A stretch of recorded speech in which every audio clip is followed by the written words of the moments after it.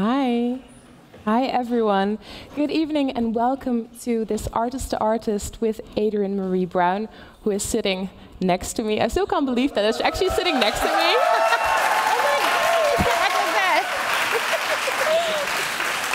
yeah. I didn't tell you yet how much of a fangirl I am. You didn't tell me at all. Well, surprise, surprise. Well, um, I think it's me and the other fan people here in the in the audience.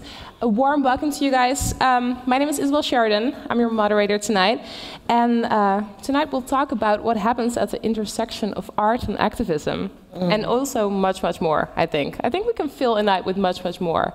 Um, and it won't just be the two of us. With us here, uh, engaging in conversation with Adrienne Maree Brown, are um, writer and social commentator Munganyende Hélène Christelle, uh, theater maker Gavin Viano, and vis visual artist and designer Bodil Ouédraogo. A warm welcome to all of you. Um, they all wrote a reflection on Adrienne's wonderful wor work. It's called Emergent Strategy. For those who haven't read it, even your book gets applause. That's so um, great. That's so great. Um, but well, before we uh, get a chance to talk to each other, mm. I would also really want to welcome you guys because you're you're here yeah. as an audience, but also feel welcome to be a part of this conversation. I kind of, to be honest, I kind of imagined a little different setup uh, for this evening where we could actually engage more with each other and have you close with yeah, us. Yeah. But unfortunately, tomorrow there is a very early, early um, funeral. We normally don't do funerals, but this is an occasion that we just, yeah. Um, Wait, what do you mean you normally don't have funerals? Well, this is meant.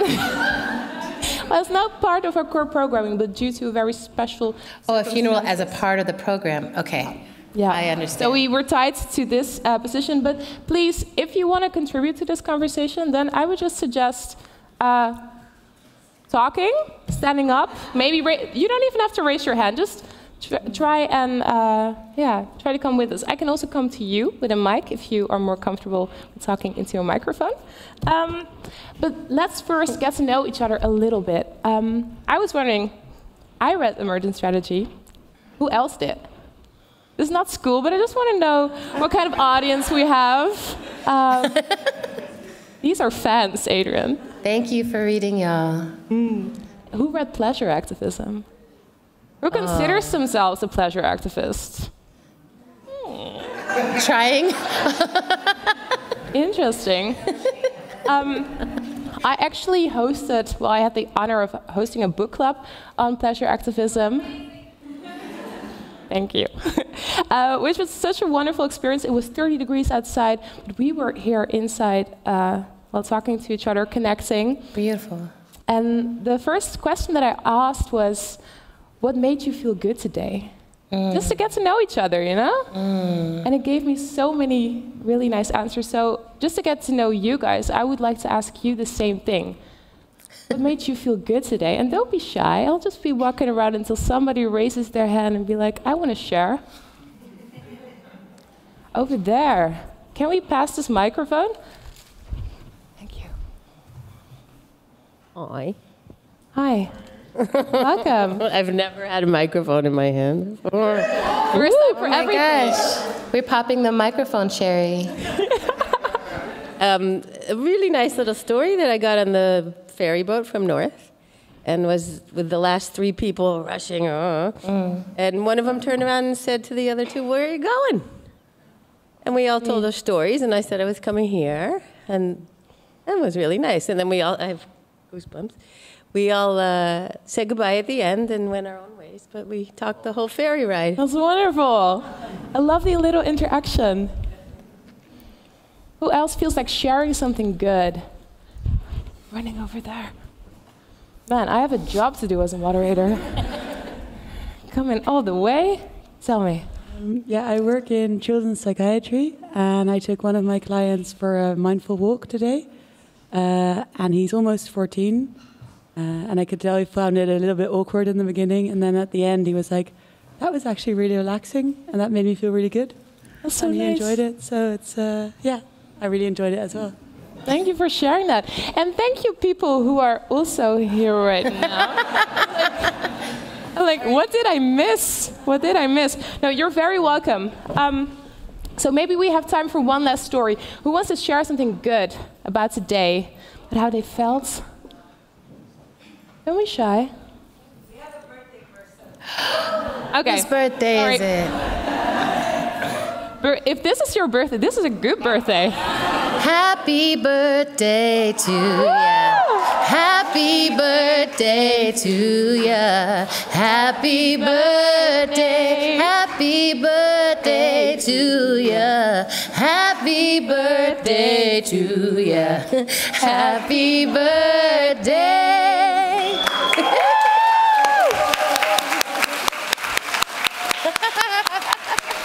Well, if that that isn't a great start of an evening, then a birthday, then I don't know what is. The question is, what made you feel good today, apart from the obvious moment that just happened? so much to tell. I don't know where to start. I had the best day ever. All of these people surprised me and tricked me to coming here, and it is the best surprise ever. I got I got clues, I got so much love and cuddles and food and wine and flowers and this hat. I mean, it's the best day ever. Wow. oh my god, Okay, we peaked. that is beautiful. Okay. I think that this is exactly the energy we need to start off our nights. I'm good. I feel fully Yeah. satisfied. Yeah, I get that. Um, okay, That is a great hat. that is a great hat. Okay, Adrienne, I've already kind of introduced you, but please let me uh, say that Adrienne Maree is a writer, she's a social commentator, she's a pleasure activist, she's a community organizer, artist, meme queen, auntie, doula, and Beyonce's biggest fan. Here she is. Adrienne, um, I Wait, already can I ask them how many of you received the blessing of Beyonce? Oh my God, y'all! Wasn't she perfect in every way? I'm still drooling. Yeah, how was it for you? When did you go? Well, Saturday we went to Beyonce, and I have to say we had to organize it with the Holland Fest because when we saw when I saw it when she released the dates and it was like she was going to be here, and I knew that we were booked on the 18th, and I was like, okay, so I went ahead and bought the tickets right away. And then the organizers, Joachim, was like, I don't know if this is going to work. And I was like, it is. we'll figure it out. We can rehearse from 9 a.m. We'll be fine. And we worked it out. And almost almost everyone in the show actually went to see her on Saturday night in some way. Yeah. That's beautiful. What was your favorite moment about the show? Oh God. I think You have to choose. Right? Um, yeah, I mean, for me, it's like one continuous favorite experience. But I will say, I'll say my favorite piece of the set design was she had a portal, and it's a picture of her legs coming up and out on either side, and you just keep going deeper and deeper into the portal. And I was like, make it plain. like, make it plain. You are the mother. We all know what's happening. Oh, and Clarice was there oh, there's too. Clarice Gargard gracing us with our, her presence. yeah. You're very welcome. And also, I just the sound of her voice, the quality of the voice in that stadium was sickening to me. Yeah. Yeah. I'm like, how do you do that? Anyway, I mean, she's perfect to me, so. Well, I think half of the audience knows now. After seeing her live, I'm very jealous. Thank you. Um, but Adrienne, um, so I asked a, asked a question to the audience, asking them what gave them joy, um, and I was wondering what gave you joy today.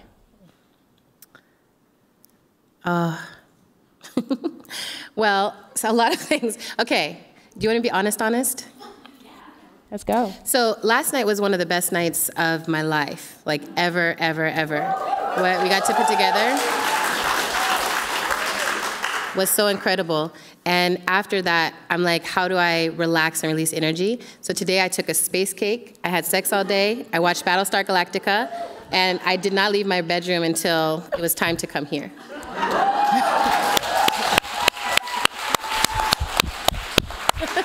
Oh my god. I love that for you. I'm really trying to practice what I preach, you know? Yes, exactly. Yes. Exactly. It sounds like a perfect way to start off this evening of talking to Thank all of your fans. Yeah.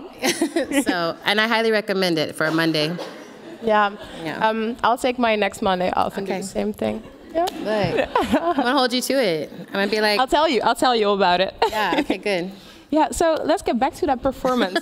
um, to feel a thing, a ritual for emergence. Yes. That happened yesterday. It happened. Can you tell who? Wait, who was there again? Yeah, that's a lot wow, of people. thank you so much. But maybe for the people who, Who weren't there. know, who weren't there, could you like shed some light on what happened there? Um, yeah, I can. I think I can. I, so, I mean, I am curious to hear what happened for other people, obviously, but for me, you know, a few years, I've always written songs, but always like kind of privately. And then a few years ago, I started sharing them, and I got connected to other people around them, and this ritual has emerged. And each time, I understand something new about it. Like I keep following it, and people keep coming into it and weaving into it. So last night, I think what happened, I came in, and for me, the practice was to meditate, to call my ancestors into the space. And they literally came up like I was meditating as everyone was entering the space, and all my ancestors came one by one, some that I recognized and some that I had not met before. And they just came and were like, I'm here.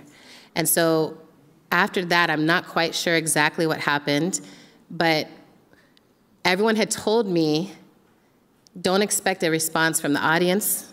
The Dutch don't get down like this gospel thing you're doing.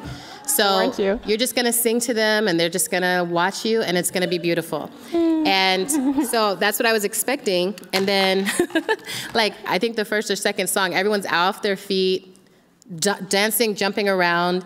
And I was like, okay, let's have a ritual. So we had a ritual. We had these all these local folks who wove in because of Clarice. So Clarice reached out to me and was like, I'm a part of this. And so we wove and, and figured out, you know, we've never met before, but we figured out how to collaborate with each other. So she gave a testimony about the conditions here. And we had Nana Afua, a Winti priestess, who came and gave a prayer and blessing of protection for all of us. Mm-hmm. We had Ernestine come and bless us with a poem. And in the middle, it was song after song that is moving us through different um, stages of emotion and asking ourselves, what is it we believe? How does that move us into action? How do we actually drop into feeling? And then for me personally, I struggle a lot with wanting to be numb in the face of the hopelessness and despair of the current conditions. about that. It's just called numb. I wrote it, I was drunk, I was high, and I was like, I can still feel too much. And my heart is broken, I can still feel the sharp edges of it. And I need to get further away from the feeling. And so I sang the song, and you can hear it like in the original voice note. I record everything into like voice memos on my phone. Mm-hmm. And you can hear it like it's like a mess. you can hear I'm crying, I'm like, I wanna be done. The you artistic know? process is never easy. No, it's disgusting, but it's wonderful because if you're honest, if you really create when you're hurting the most, mm-hmm. um, and if someone's willing to meet you, like Troy is like, I'll listen to that and I can pull out something that is ugly and beautiful. Um, but then we were like, come with us. And everyone came with us. And we made it through the numbness and we remembered how to feel something. And by the end, it just kept, I kept being like, that's the highest we'll go. And then the next song, everyone be elevated more. So. Can you describe the energy in that room? it felt like we were one body. Like it felt like we got to be one body, um, everyone moving in different ways, but moving together.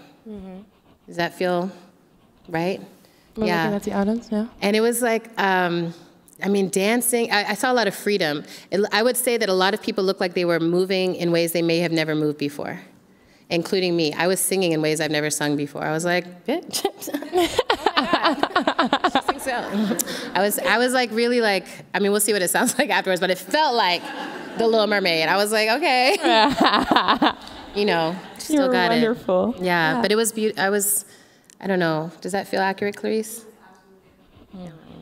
That was wonderful. Is that also um, because I feel like the word, the concept emergence translates really difficultly to uh, to Dutch. Yeah. Um, is that also like what you just said about this being one experience, one. one organism? Is that what you also mean with the concept of emergence? So the definition of emergence I use is the way complex systems and patterns arise out of relatively simple interactions. So I talk about one bird Yeah. flaps its wings, a bird flying.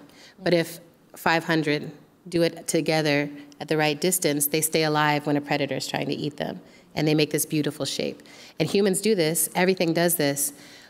But for me, emergence can be good or bad, right? Like it's not, it's actually a neutral concept hmm. because it's how everything comes to exist, including mosquitoes and rats and like everything. The things you don't want. Yeah. So the strategy part of it is what matters. It's like, how do we acknowledge that the world develops in this way? This is actually the truth of what These is. complex patterns. Yes. And all the complex patterns come out of the simple, small interactions. Can we humble ourselves to rigorously practice the simple, small things over and over again if we want to create new, complex systems and patterns? Mm-hmm. And so, like, if we're in a very complex, fucked up climate catastrophe, mm-hmm. and the simple moves we have to take are, for instance, not flying, eating vegan, da da da da da. Why do we struggle so hard to make the simple move that would create a new complex pattern of food systems and weather systems and everything else? And I'm, as non, a non-vegan person who flew here, right, in the contradiction of that, right? Yeah. Is I'm like asking myself all the time, what are the right small adjustments to make? Because each generation is making the small adjustment, adjustments that create the society. Um, so And that's what I'm a asking. lot of people on board. You do and you don't. Like in any place, I mean, this is the beauty of social justice work. You know, I've done social justice organizing for 25 years, facilitation.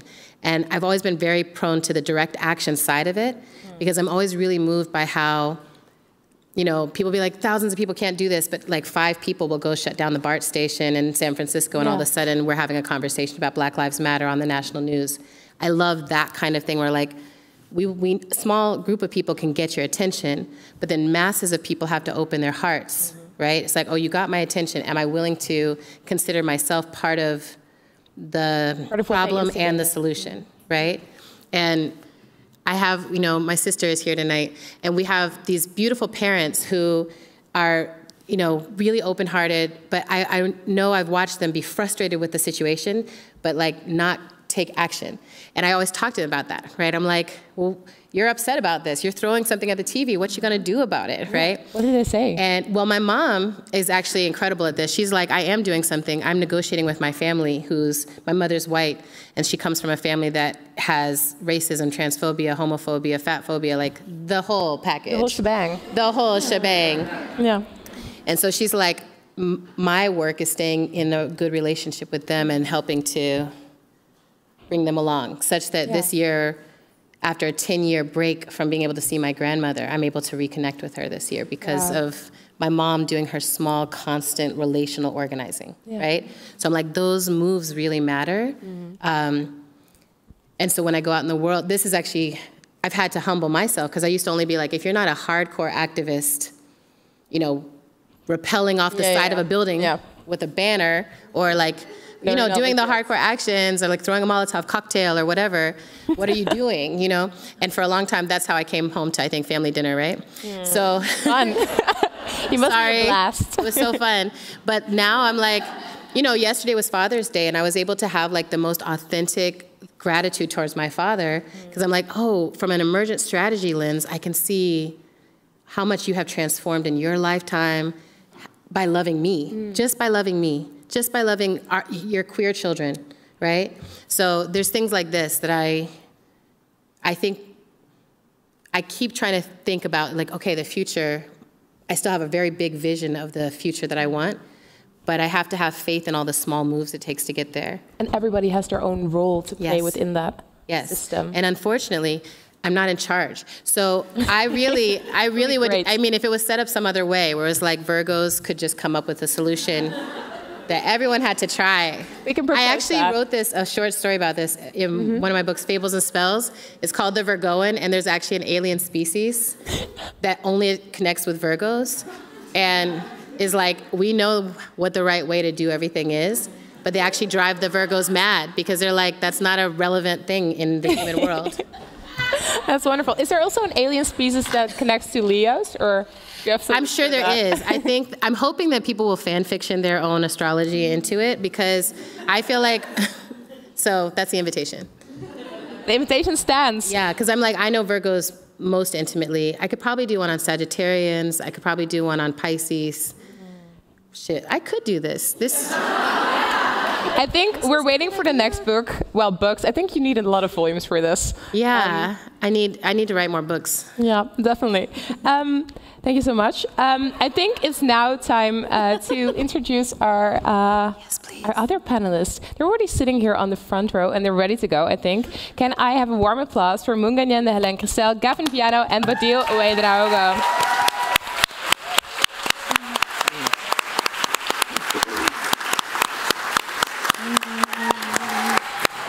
Oh my God. Please join us. We're here. Uh, whilst you guys get settled, I'm also going to properly introduce you because I already have it written down. Um, theater maker and actor Gavin Viano's work radiates social urgency. Through his grassroots initiatives, he addresses themes that affect the black community, the human rights community, the queer community, and the vulnerable youth. Period. Period. Bam. Mic drop. You're here. Great that you're here. Uh, Munganyende Hélène is a social commentator, activist, and writer. She writes socially critical prose and essays focusing on topics like race, identity, feminism, and, of course, Beyonce, let's be honest. Um, Okay. and she's currently working on her debut novel that hopefully she will share a little bit about in a bit. Uh, and then we have Bodil Ouédraogo. Um, she's a visual artist, fashion designer who explores the intersection of clothing and cultural contexts. Um, her work goes beyond fashion design, incorporating textiles, music, and dance into immersive installations. Welcome, guys. You're like, yeah. Y'all- So I'm not going to ask you what your favorite moment was last week, because I all know that I know that you all went to Beyonce. So this is an easy one. exactly. Um, but uh, going back to yesterday's performance, Bodil and Munganyende, you guys were there. Uh, how was that for you?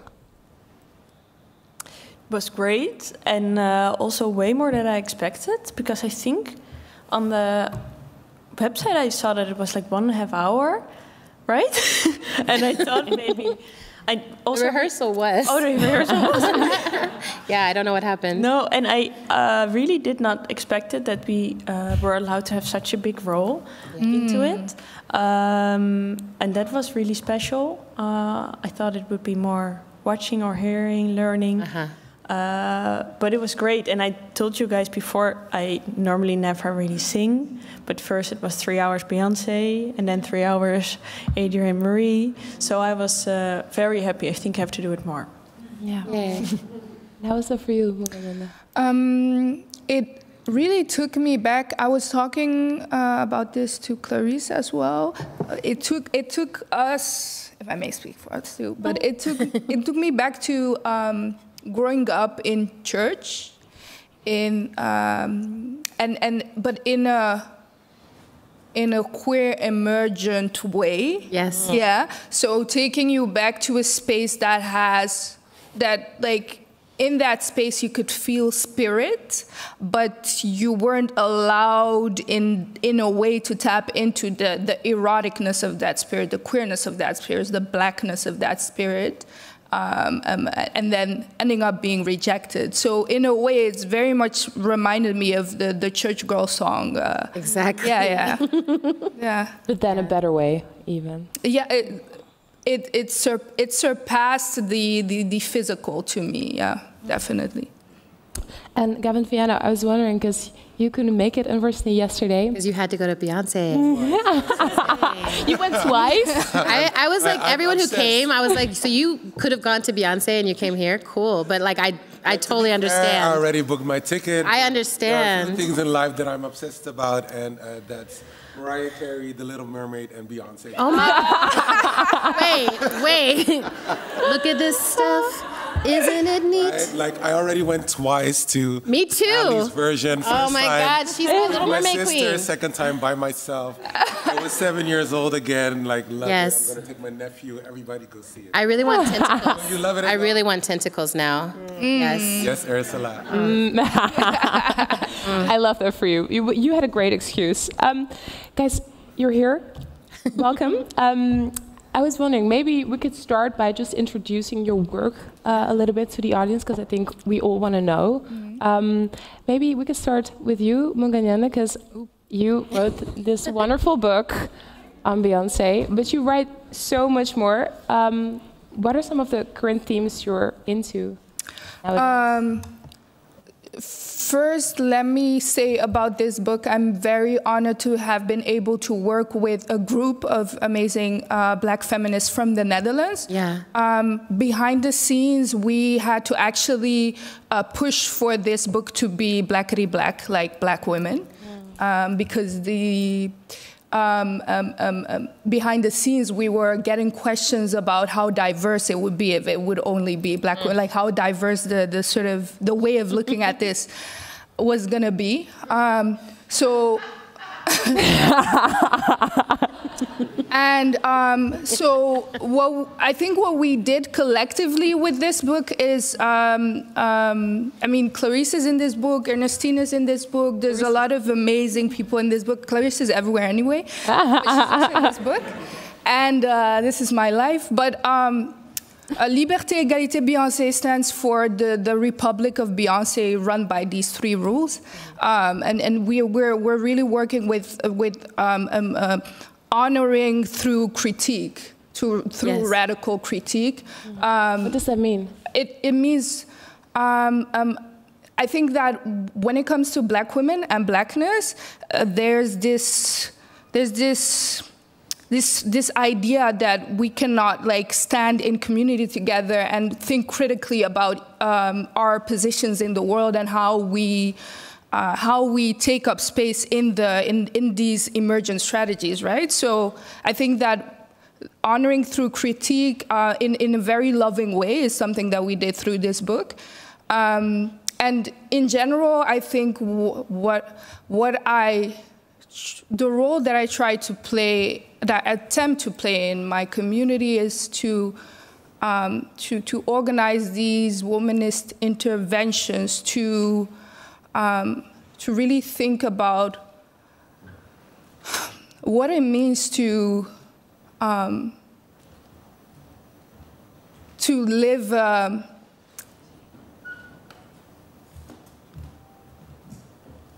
a good black life um, Yeah. and what what that looks like What have you found so far? a lot of things a lot can of things imagine. and but i've it's not about what i found it's about what i felt mostly and how my community has helped me feel through um, through the the through this existence to get to a place where um,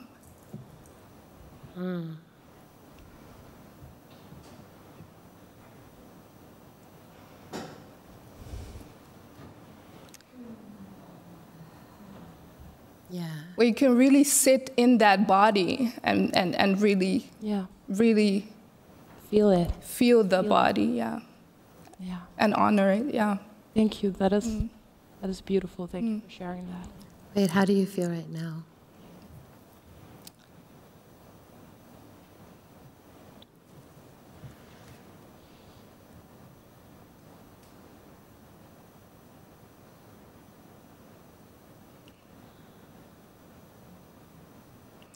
I feel mm,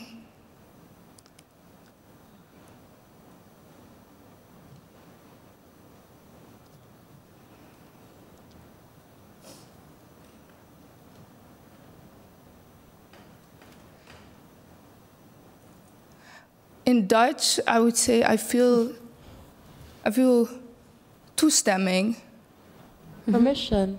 Yes, and in Dutch, it it means like it it it it, reads differently for me in Dutch because toestemming is like it's permission, but it's also like giving in.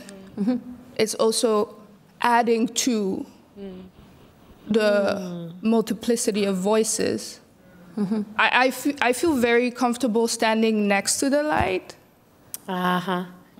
Yeah. So these, this, this, this, these conversations and this question is uncomfortable in that way because it, uh, a- it asks of me to stand in the light, but I feel very comfortable standing next to the light. Mm.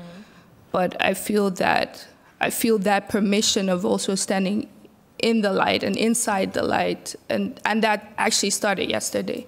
Yeah. Yeah, you know, I was thinking about this when you were talking about the role of, I, I think we share this, because when you're talking about the role of, of honoring through critique or honoring through the engagement of the work, for most of my life, I've been a facilitator. And so I'm always like next to the light, I'm like, everyone here is the most amazing person. They're the most amazing mm. organizer.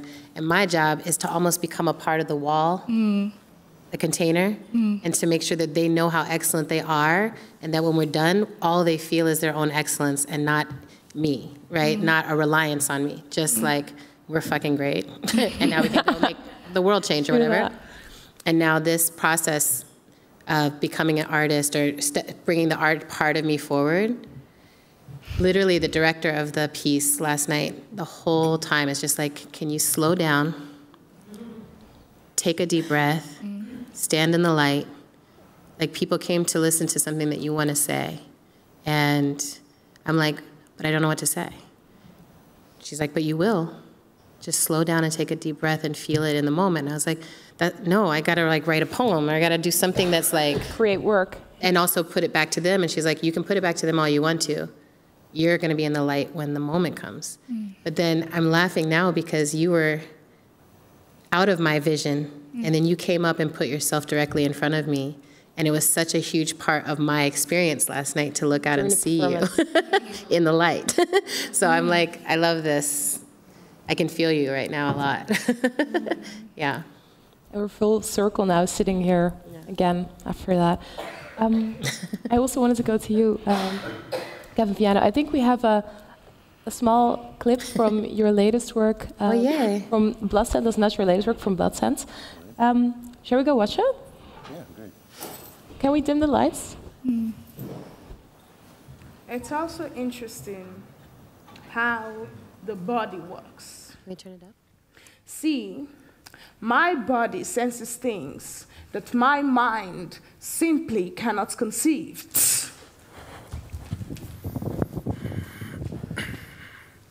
It's like my body has stored events from the past, which results in emotional roller coasters. Let's call these roller coasters moments. Sometimes my mind is the slow one to follow, but more often my mind is the instigator. I'm sure that it can live on without the body, which brings me to the duality of mind and body, two totally different planes with two totally different approaches. And a mind, a body one, and how do 11 year olds handle these two?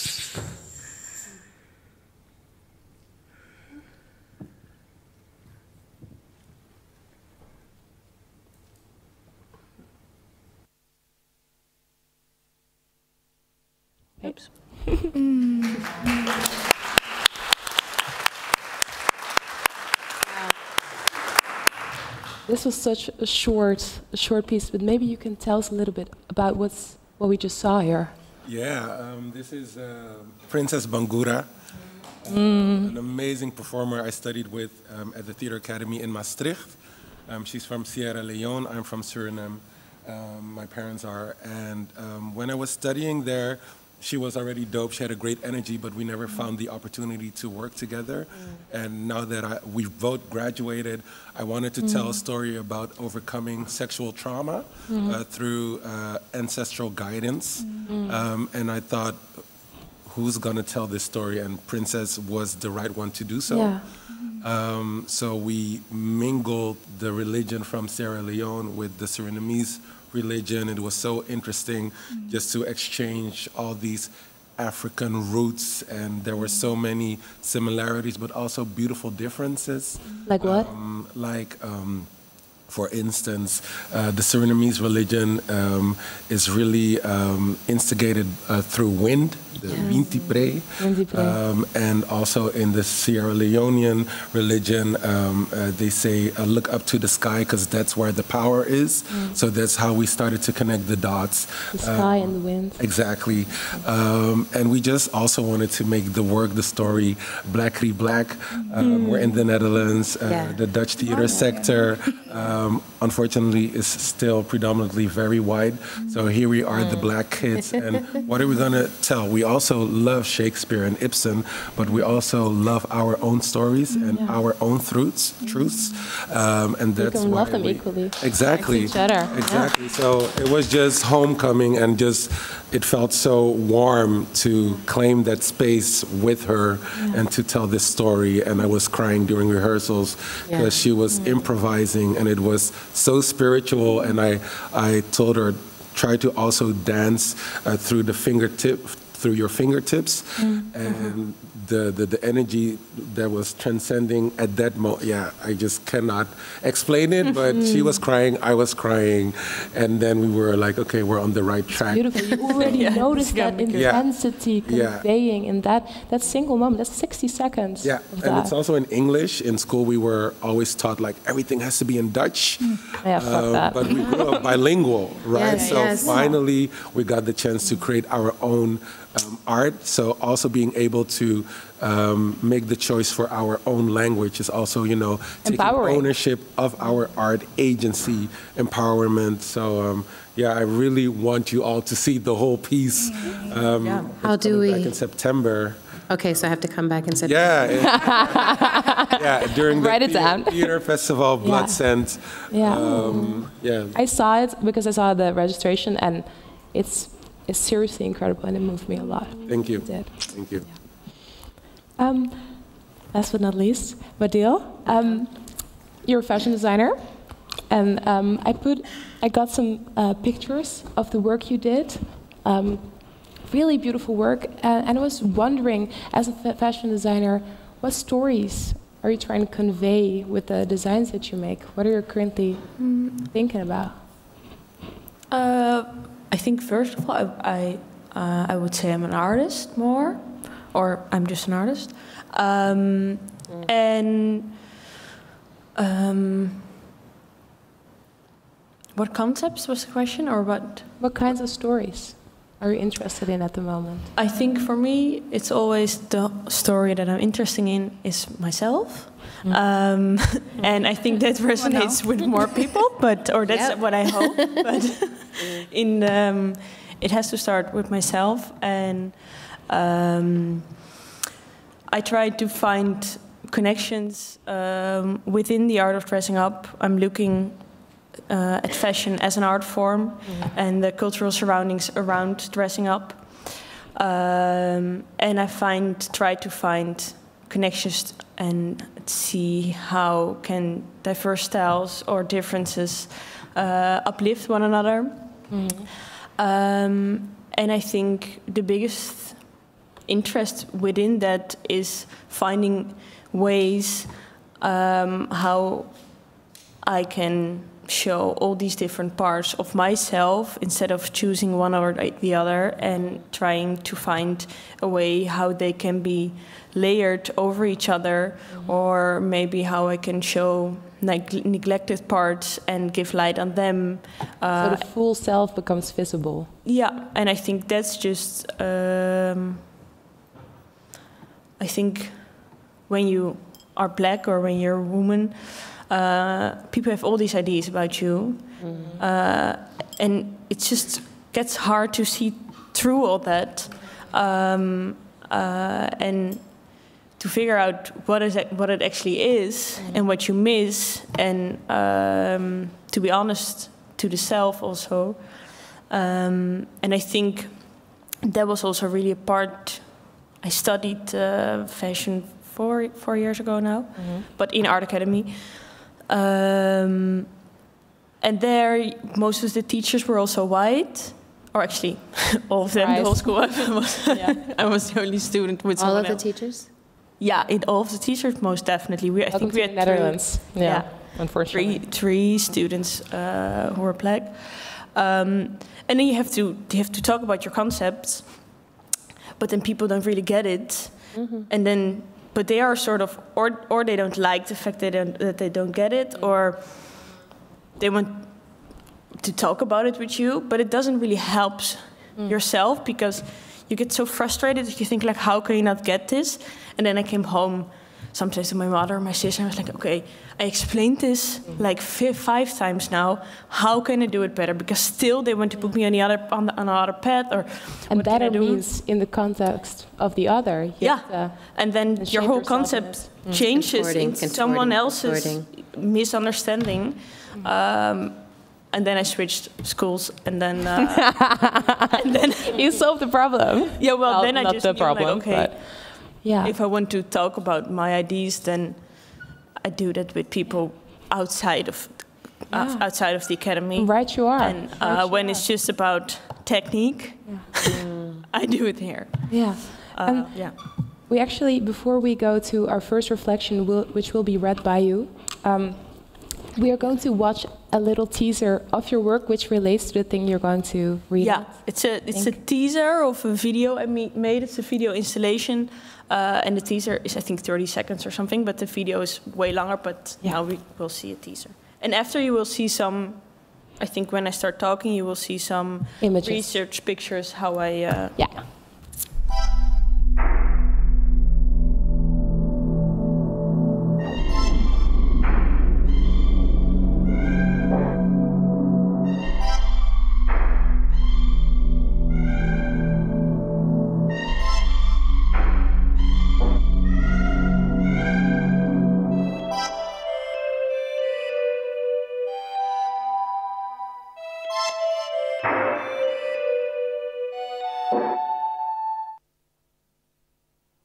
Beautiful.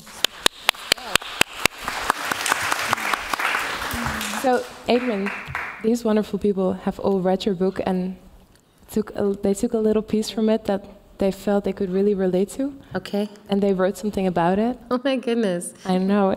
You knew this was going to happen. Well, it would be hard if they if this was also a surprise for them, I though.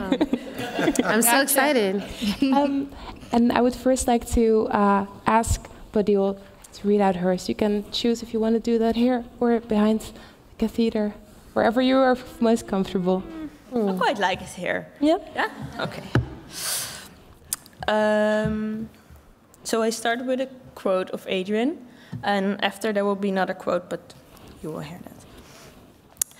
I'm living a life I don't regret, a life that will resonate with my ancestors and with as many generations forward as I can imagine.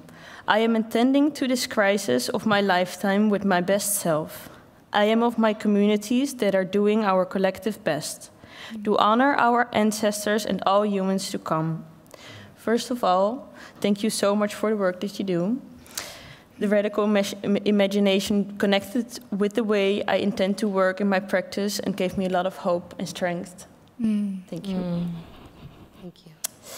Um, my father is from, from Burkina Faso, my mother is from the Netherlands. Um, in Burkina Faso, people everywhere reminded me over and over again that a person is not alone, but overly connected. All the pieces of a person's history are akin and make you who you are. Not one or the other, not Dutch, Burkina Burkinabe, street culture, haute couture, nor gender, but identity, the self, is one big connected web in which all these threads together are what makes it a whole. And above all, what makes it unique, complex, and appealing. This idea about identity is the core of my work.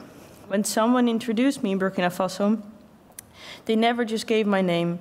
It goes in a way where all my connections were explained. Hello, good day, this is the daughter of, the auntie of, the student from. Uh-huh. This is also what my, what my father asked me when he asked me how I am. How is it with the little sis- sister of Rita, referring to me? This is how I got my daily affirmation. Instead of a way more and maybe Western way of introducing someone by just saying, This is Bodil Ouédraogo. Another quote of Adrienne, which resonated for me We are never just individual bodies, individual traumas. Our, our lives and the way, ways we survive are interconnected. Hmm. I often have the feeling that people get confused about identity and ask you to choose a part of yourself, what for me leads to an incomplete and maybe even a feeling of dishonest to the self. Hmm. In my work, I try to f- find ways to nurture and honor every part of the self. How can we stand in line with who went before us? How to portray an imagination where all these parts are layered and see through? Hmm. I think the trying to portray all these parts of the self or giving light on forgotten or neglected parts of the self asks for radical imagination. Taking up space by presenting an alternative where you show that you are overly connected. In my latest research, I tried doing that by, by embodying African wooden art.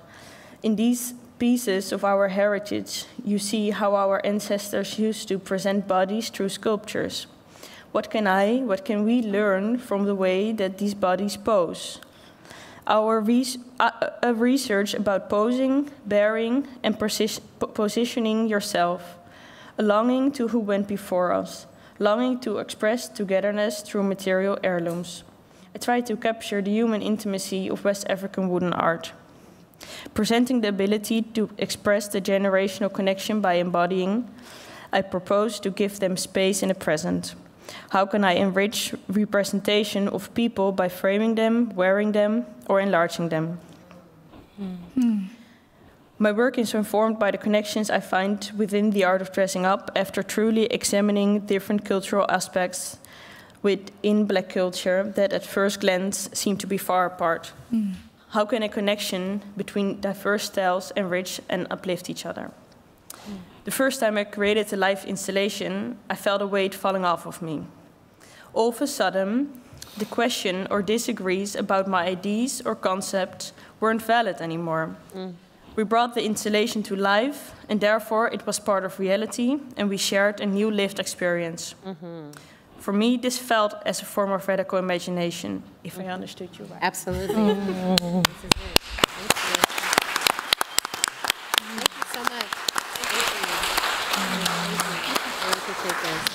Thank you for that, Bodil. Thank you. I love that line. How can we stand in line with those who went before us?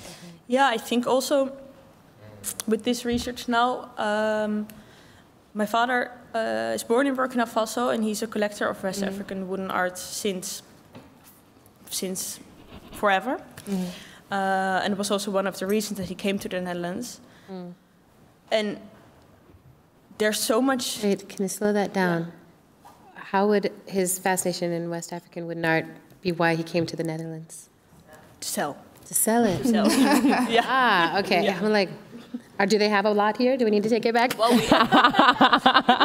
well, everything is here.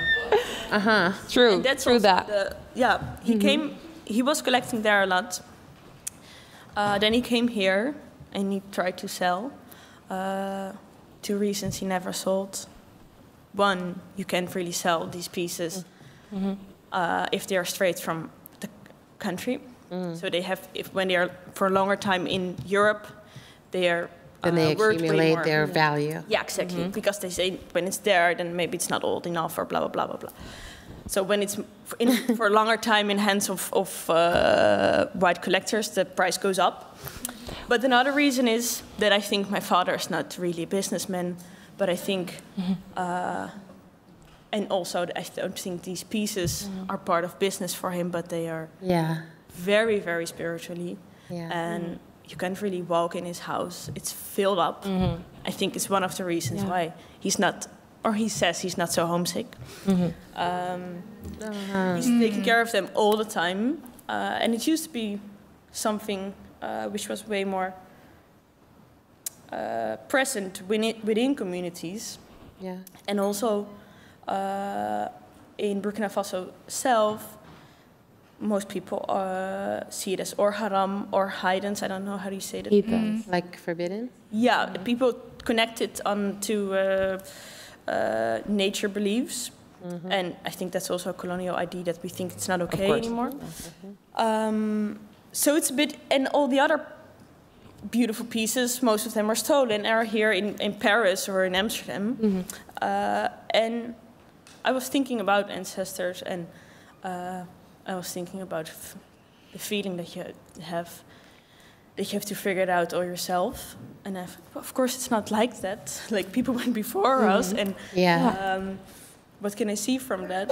And then when I, when I was a small kid, sometimes in my father's house, these pieces were, some of them were almost my height. Yes. And then when you walk by, you look them in the eyes, and Yes. then uh, I had with a few of them, I was like, okay.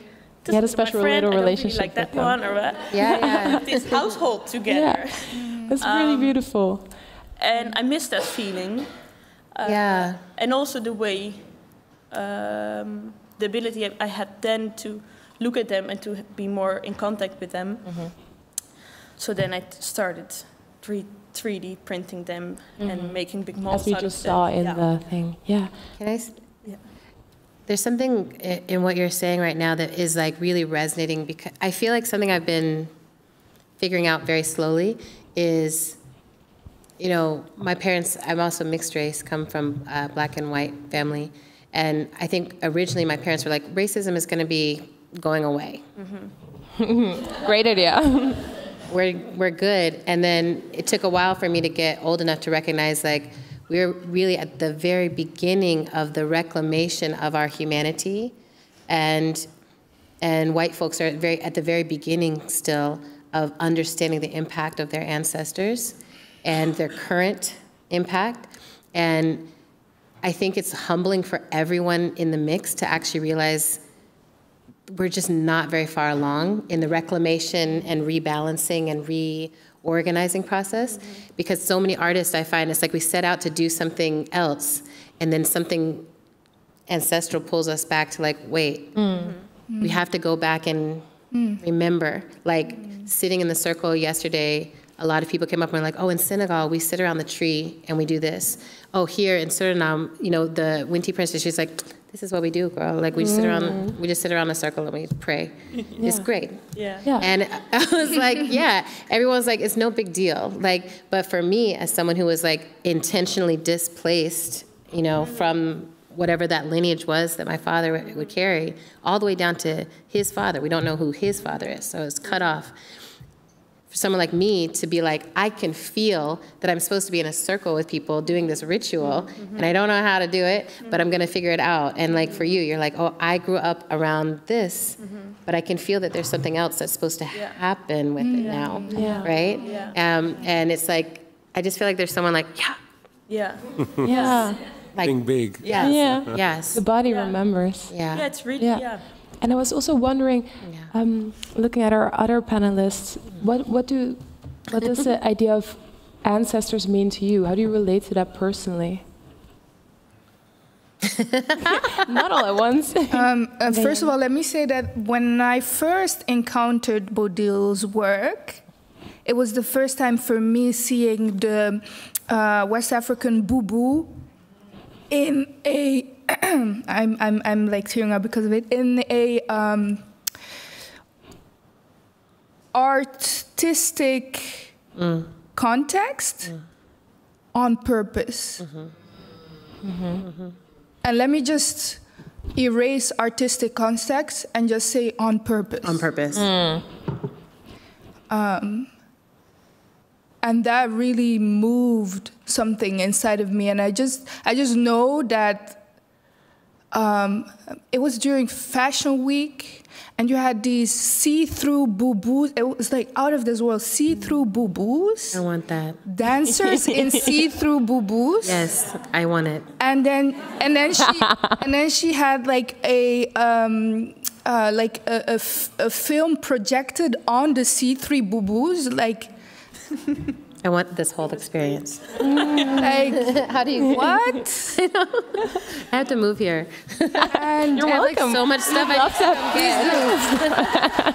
you. we would love to have you. I know. I'm like, there's so much stuff to do. yeah, so as uh, as um, someone who relates to that that Yeah. specific region, um, um, that was super special. So when I speak of ancestry, um, I would say I, s- I, I, I really enjoy when it's on purpose. Intentional. Yeah, and when like that when I'm called when I'm called to it, uh, I was called to her work as well, Yeah. and I just know behind the scenes a lot of like. Um, uh, people who grew up in and around boubous, literally, um, um, were so excited to engage with your work. Mm. Yeah. It was beautiful. Yeah, Mm-hmm. it's so nice when you.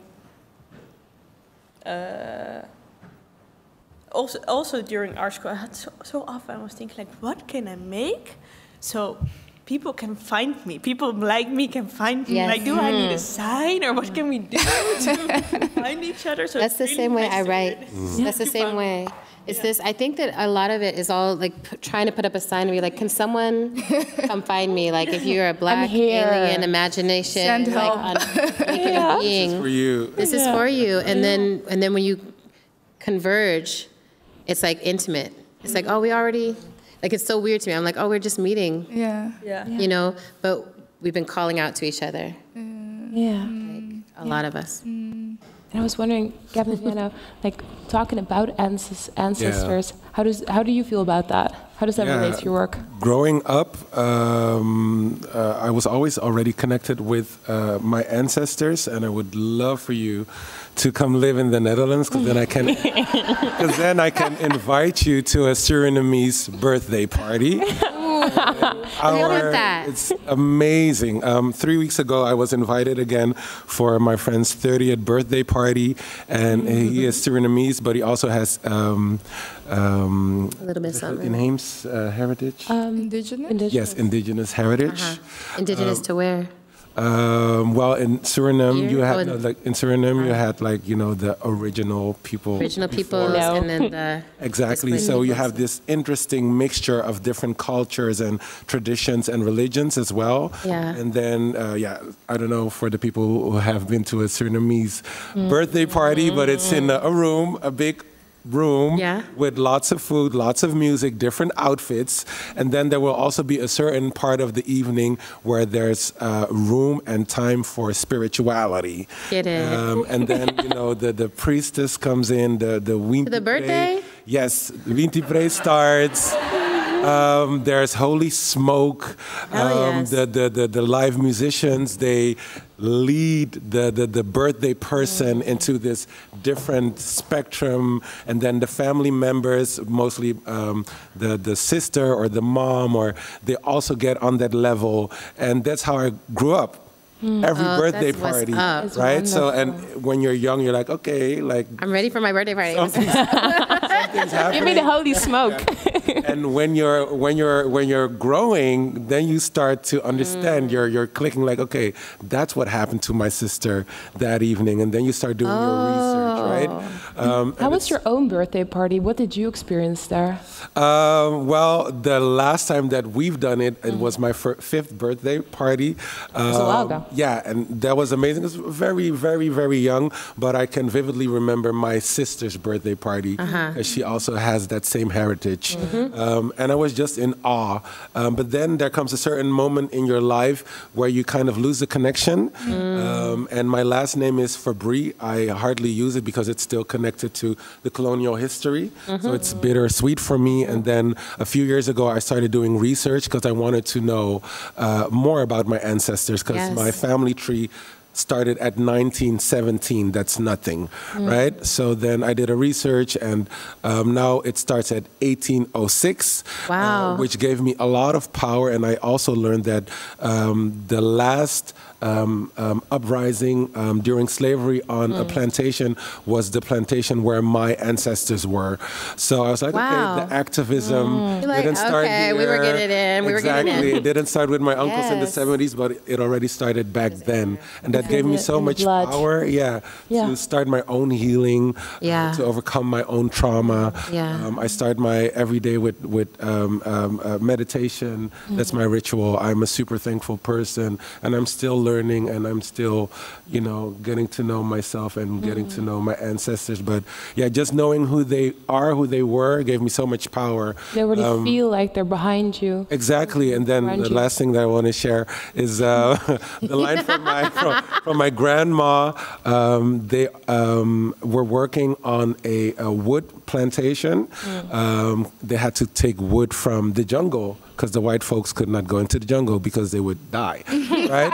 So, so they treated that family line uh, from my grandma uh, better because you know, or else they wouldn't go. Mm. Um, so they would actually give them a small fee, and with that fee, they could actually save money. Oh, wow. And then I discovered that they already bought themselves free already in 1843. So Okay. 30 years prior to, you know, so that gave me so much strength because Yes. it's always the same narrative of that they were victims and that they did not That do someone else anything. had to liberate them. Exactly, but they took ownership They liberated themselves. their whole line, their whole future. Um, and they, they were poor afterwards, but it was worth it, right? Poor and free is much better than any other condition. How far would you go Yeah. to claim your own freedom? That's so powerful. And Yeah. when I found that information, I just started crying. I didn't uh, expect to cry because Mm. toxic masculinity, but uh, it, gave me, it gave me so much power. And um, there's more research to do. I mean, Yeah, yeah. it doesn't start at For all of us. 1806 exactly. Yeah. So um, yeah, do the research if you can. yeah. Yeah. Uh, I love that. I really love hearing that. And, you know, I think there's also something around these stories that get hidden in the folds. Yeah. And people, I think for a long time, there's been a sense of like, there's just no way to know. It's like, no, actually, we've been secretly documenting ourselves or finding ways. You know, there's ways you can find this stuff. Yeah. We just found out where there's this writer named Imani Perry, um, who's an incredible scholar, activist in the U.S., and who I've looked up to for years. And we'd met and everything. We both did Ancestry.com, and we found out that we're cousins, third cousins, and we're both Virgos.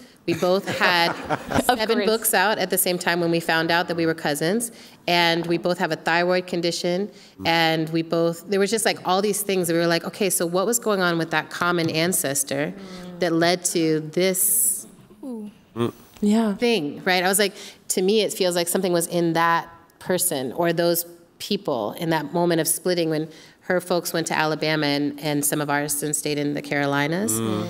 And, and I now, you know, I'm like, if there's not enough research, there's also like, I'm, I'm thinking of the work of Sa- uh, Saidiya Hartman. This like, how can I remember Yeah. the stories through me if I can't find it written down somewhere? Yeah. Yeah. um, and try to write from that place. Like, I don't know if you know Lucille Clifton's work. No. No. So Lucille Clifton was a black feminist poet, uh, writing a lot around the like 1980s, and she did these poems that she called partnerships with her enslaved ancestors, because she would start waking up at like four or five o'clock in the morning with these poems and these stories in her head that she was like, I don't know where this comes from. I didn't experience this, but it was the poetry of enslaved women, mm. and they're incredible poems. But she's like, it wasn't until she had let them she was like oh i have to surrender and let them come through because mm. this is my research this is how i'm remembering Yeah. Part of the story that i'm it's mine to tell Yeah. exactly it's They're mine to already tell within they're us. in right and i'm like i love that idea that like i really try to create from a place of like i'm not trying to make something new We've right been here before. everything is here mm. but i'm trying to reconstitute the material so that it's compelling for me to want to stay alive yeah. right? Because the thing I'm always mm. dancing with mm. is, you know, humans suck. right? And I'm just like, why are we so Take. Toxic? Why are we so harmful? Why are we like? When we maybe really it's not be the the good thing for the earth. Yeah. Yeah, I'm like, if we're not good for the earth, I would choose the earth. Mm. And so then trying to come back from that place and be like, okay, but what would make humans compelling? Mm. Pleasure, being birds, Yeah. aliens, you know. So Collectiveness. Yeah. yeah, and then remembering the cycle turns me on. The idea that I'm like, oh, someone in my legacy knew how to make this ritual with songs, Yes. Mm. and they're showing me how. Yeah. You're doing it Yeah, again. they're they're with me, or they're they knew how to create these these looks. They knew how to build these sculptures. They knew how to even to critique. Right? They knew like. I always love thinking about that too. That our, our enslaved ancestors, our ancestors who were disempowered, they had very sharp critiques of what was happening. They knew exactly what was going on, and they knew how to put on a face that was like, whatever you want to think about me, mm. I'm, I'm dumb or I'm getting through the work or whatever. But you know that still happens with the workers, and then they turn like, this motherfucker has no money, blah, blah, blah, da, da, da, da, da, da, da. you know? And I'm just like, yeah, we always have a sharp critique. Class doesn't inform having a sharp critique. Yeah. Class informs whether your critique gets heard, you know? Definitely. And Definitely. I just love that idea that I'm like, our ancestors were always having a lot of opinions, and now we're just be, we're able to say them louder and fooled. louder. True that. It's Already within us. Yes. Yeah. Um, having said that, um, I think I would like to invite you, Munganyende, to share some of your thoughts. Take it to the podium. Do you want to breathe that? Yeah. Okay.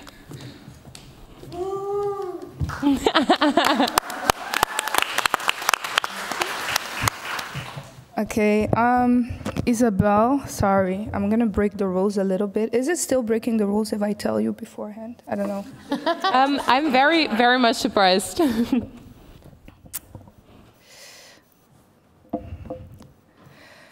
The language of our people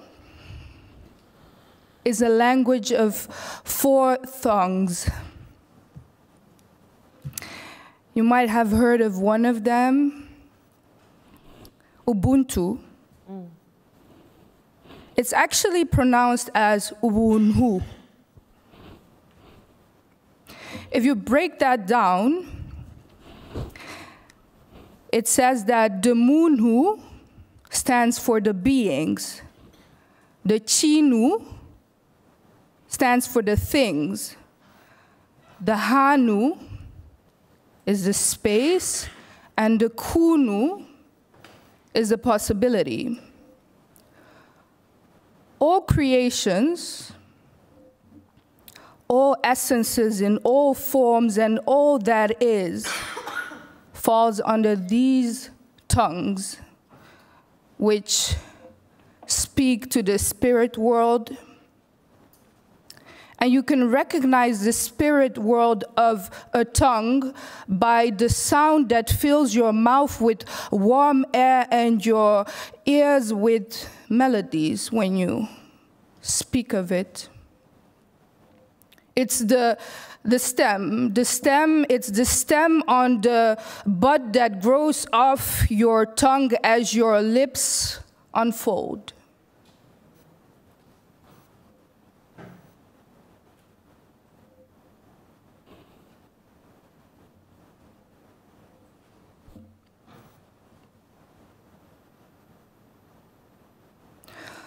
Wunu stands for all which was created.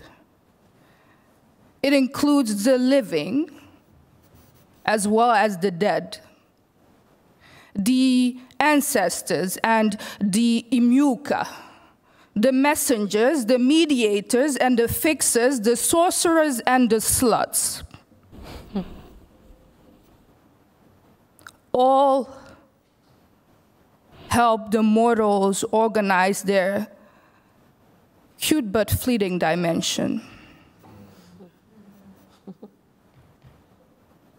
And the highest messenger, Imana, is both air and flesh and is everywhere in Hanu.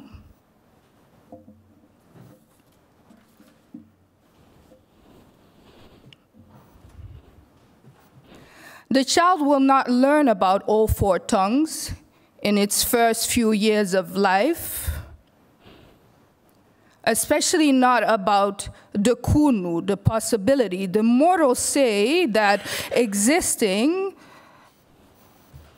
in a way that does not exist is difficult for a child to comprehend.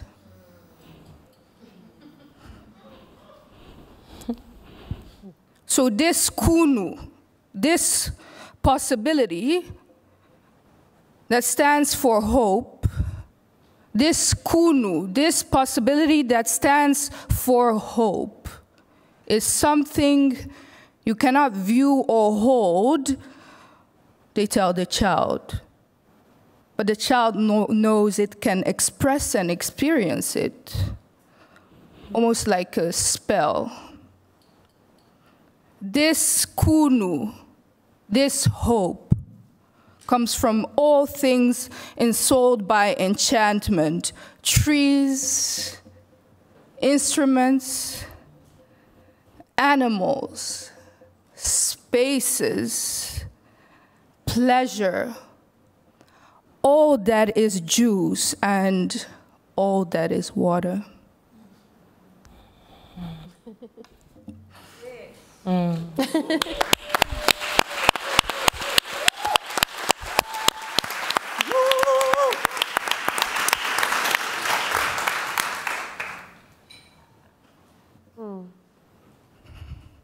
So when I think of black joy in conversation with emergence, I think of this Kinyarwanda word for emerging as more than one, multiplicity, ubwinshi. Ubwinshi is an indication of quantity, but it is more than that. It means both quantity and destination, like a deep well that you can sit in.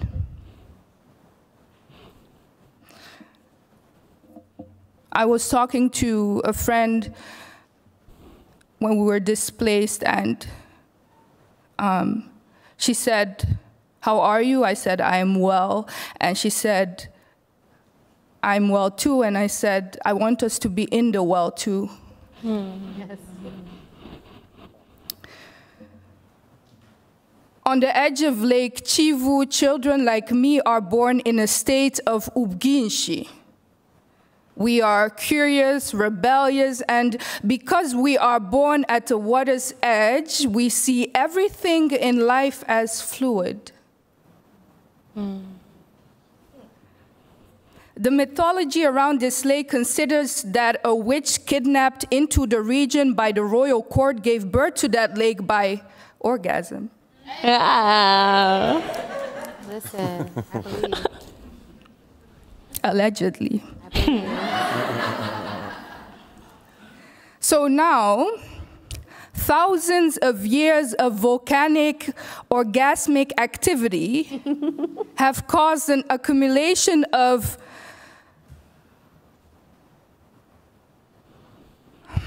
mm.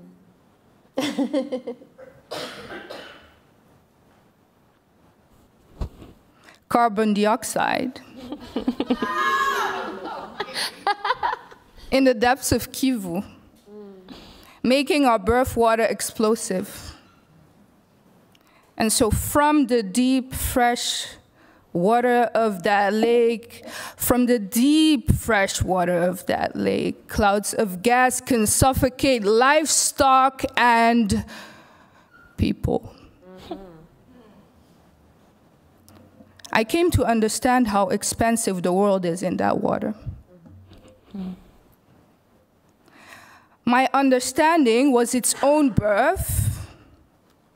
My understanding was its own birth in three acts. First, screaming like amniotic fluid, then screeching like holy water, and later crying like the swell we crossed into Europe to start a new life in the abroad. First, screaming like amniotic fluid, then screeching like holy water, and later crying like the swell we crossed into the abroad.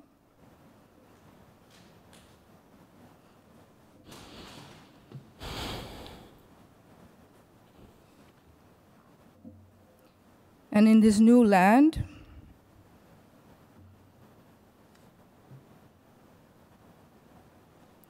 I found myself hiding, hiding under tables, hiding,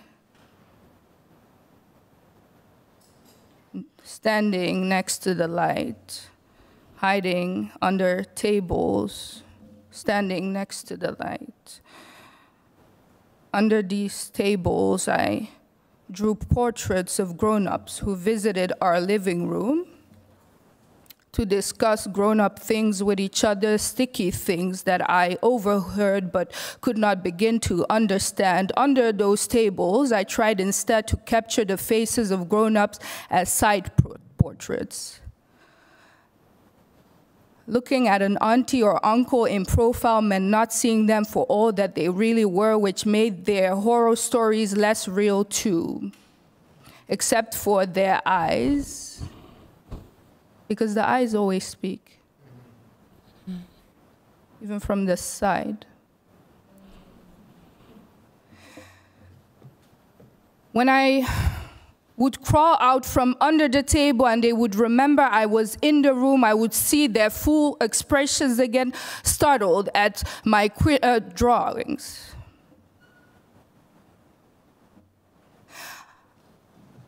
I found Ubwinshi in clothes I wore my brothers and they wore mine. They, there were no boy clothes or girl clothes. None of it made me feel like I was doing something wrong until mounds began to grow on my 11 year old chest. I was given a pair of Hello Kitty pajamas from my favorite uncle, excitedly walked into the garden in my new pajamas and felt my nipples poking through the top of the pajamas. I noticed the startled faces of my parents and that of my uncle who looked to the ground with his face folded.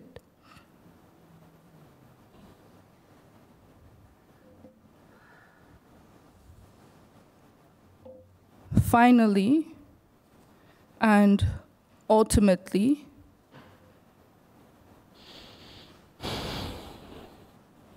I found Ubwinshi in words, words to embrace myself with, to say all that has been left unsaid or left behind at the waters. I ride of homes to wrap my tongue around, words to multiply myself with. Ubwinshi is not only a quantity, but a destination, a deep well that you can sit in.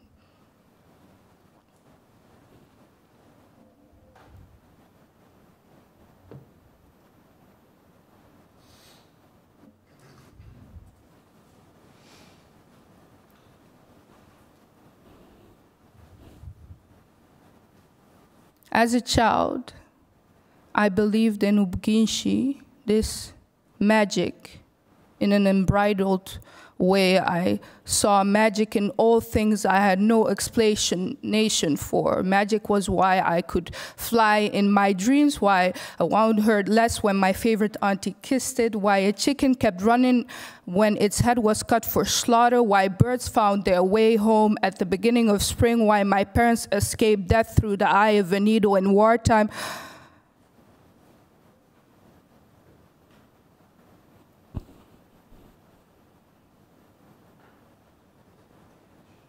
But I was called to womanhood early.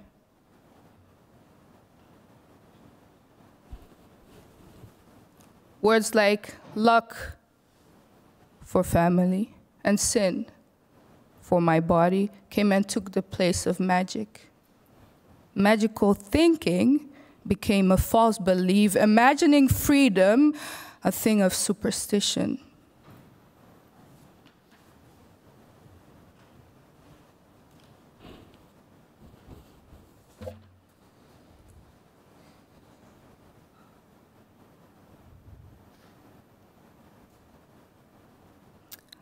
Over the years, I've learned that the way people envision the future is often influenced by the limitations people know from their past.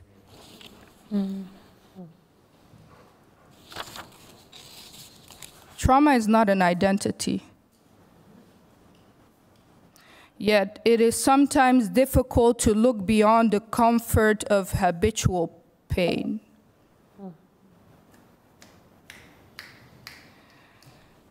We sometimes carry the weight of trauma for so long that we don't know who we are outside of suffering.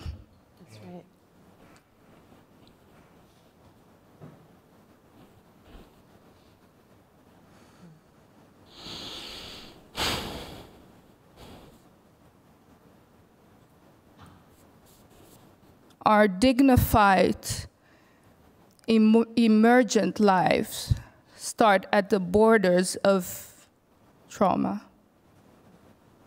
And as resistance workers, we have to be able to envision the day after the revolution before we know what the revolution is actually working towards. The revolution in itself cannot be the goal. Future thinking is the audacity to dream. And what makes this mindset a challenge is what it demands of the stories we tell ourselves about ourselves to be post revolutionary and self evidently free, which then poses the next question who do we want to be when we finally get to freedom? Thank you. Thank you.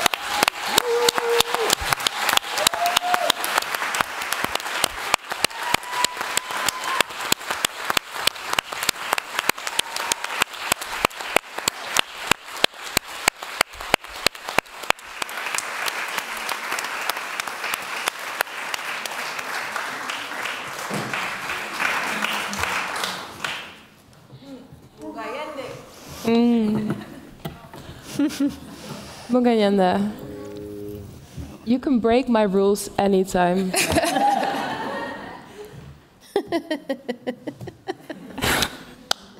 Fucking great. This was this was beautiful. Thank you so much for sharing that.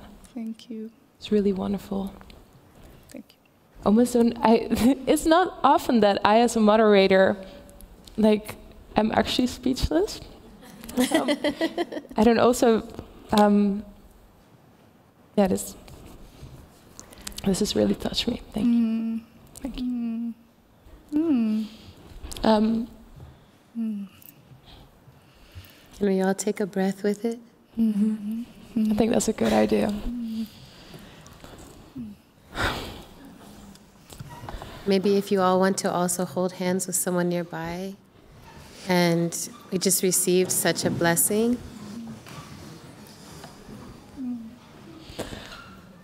That sometimes one person can speak and invite everyone's lineage into the room and everyone's memories and everyone's wisdom. I feel like you just offered us this. So let's take a deep breath in to receive it and exhale our gratitude. A deep breath in for the space.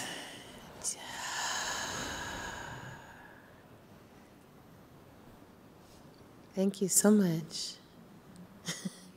Thank you. Thank you so Thank much. you. Thank you. Um, I also don't know what a follow-up question is after this. Um, sorry, I forgot how to moderate. Um, but this is fine. This happens. Um, I think this is wonderful. Um, is there anybody who would like to reply to what you just heard, Adrienne? I mean, you know, I have to tell you something, which is I have a, one of my nibblings, the children of my sister, is 13, and she's a novelist and a poet and a ferocious, rebellious fighter. And somehow you have her face, her spirit, her energy. Mm. Like I'm looking at you, and it's mm. her I see. And it makes me like listening to everything you were saying about what the child receives and what the child knows and what the child receives and the fluidity.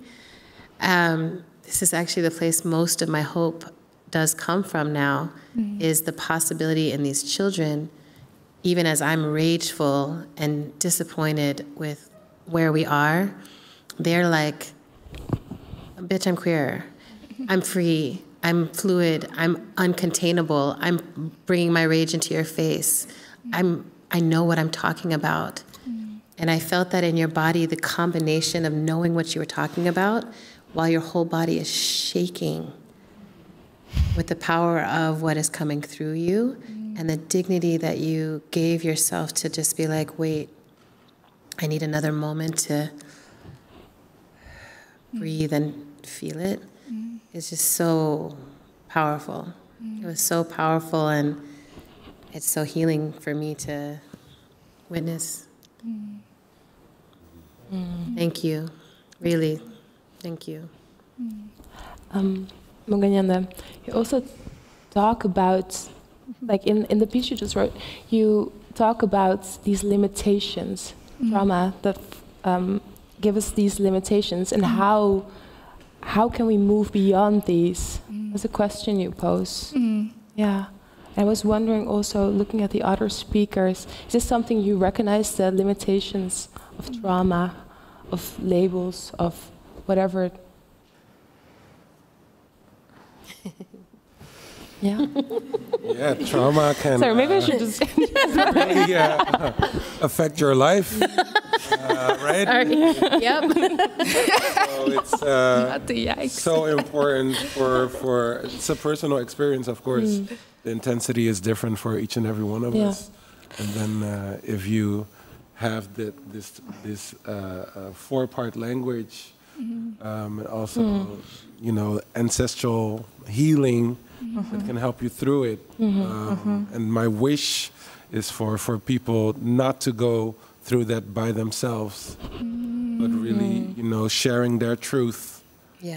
uh, with others and, and finding the empowerment there. Uh, right? It, it takes a child to, to it, it takes a village to raise a child um, and also you know to overcome trauma. Uh, you don't have to do it by yourself. There are people next to you. That's yeah. Yeah, yeah. I think also I had that yesterday a few times, and I had it now again a few times.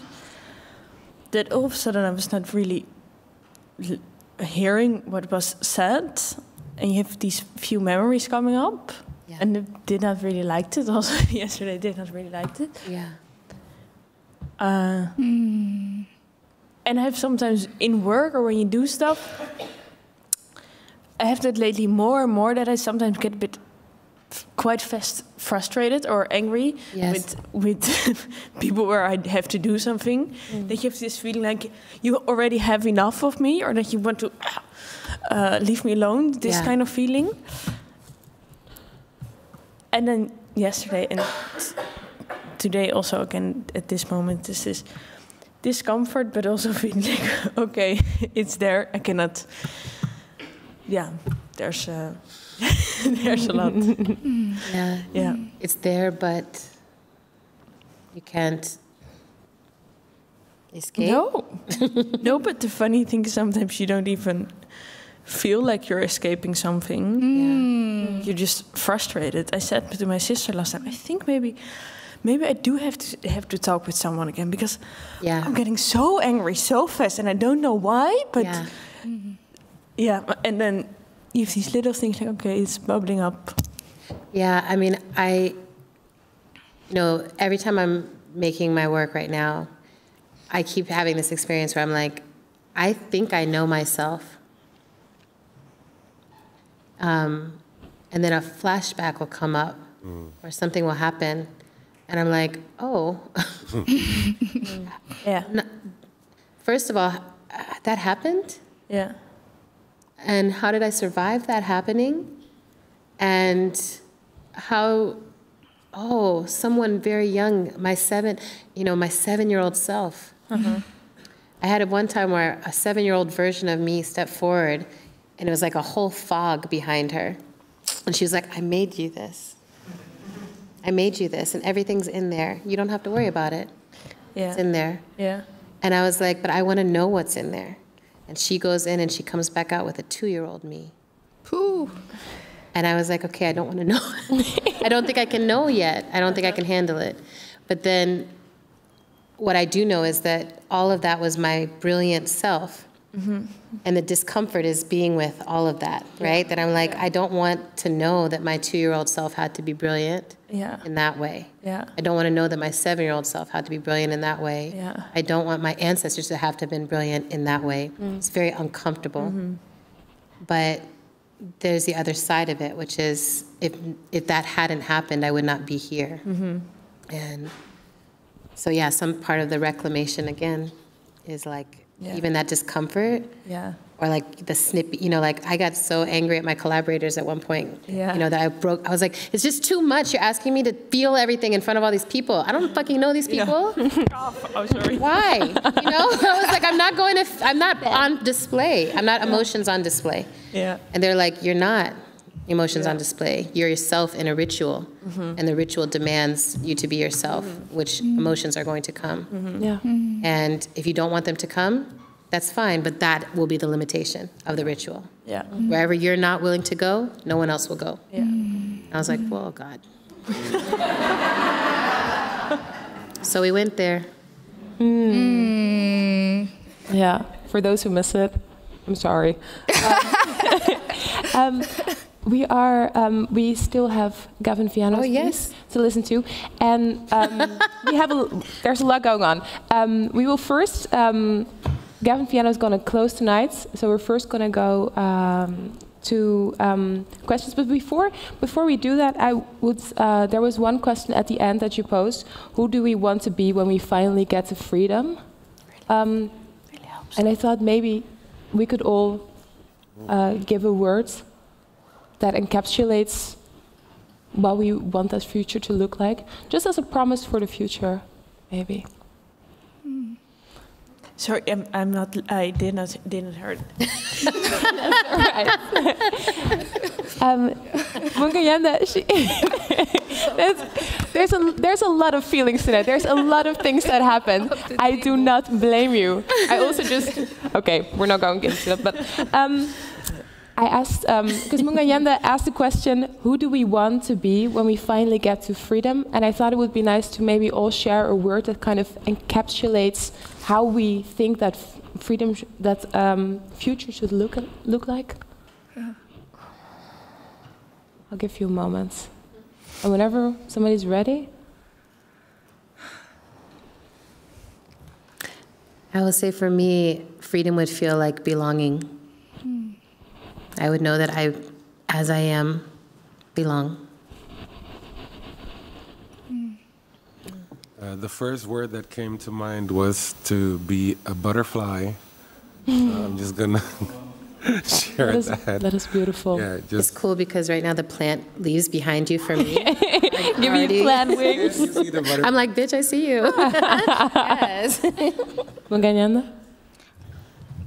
This might be super like uh, of like an obvious uh, answer, but the first and only word in my head popping up is consistently black. Yeah. And but I feel that in that being black on purpose, yes. to me it feels like something that even when I get to freedom, I still want I still will choose to wake up black because of all I'm not going to be tricked into thinking that that that trauma is intrinsically linked to being black. That's right. Um, I just love the dignity of being black. I feel you. And the last word for you, Bodil? Um, I think maybe for me, if you have to less manifesting or less less um,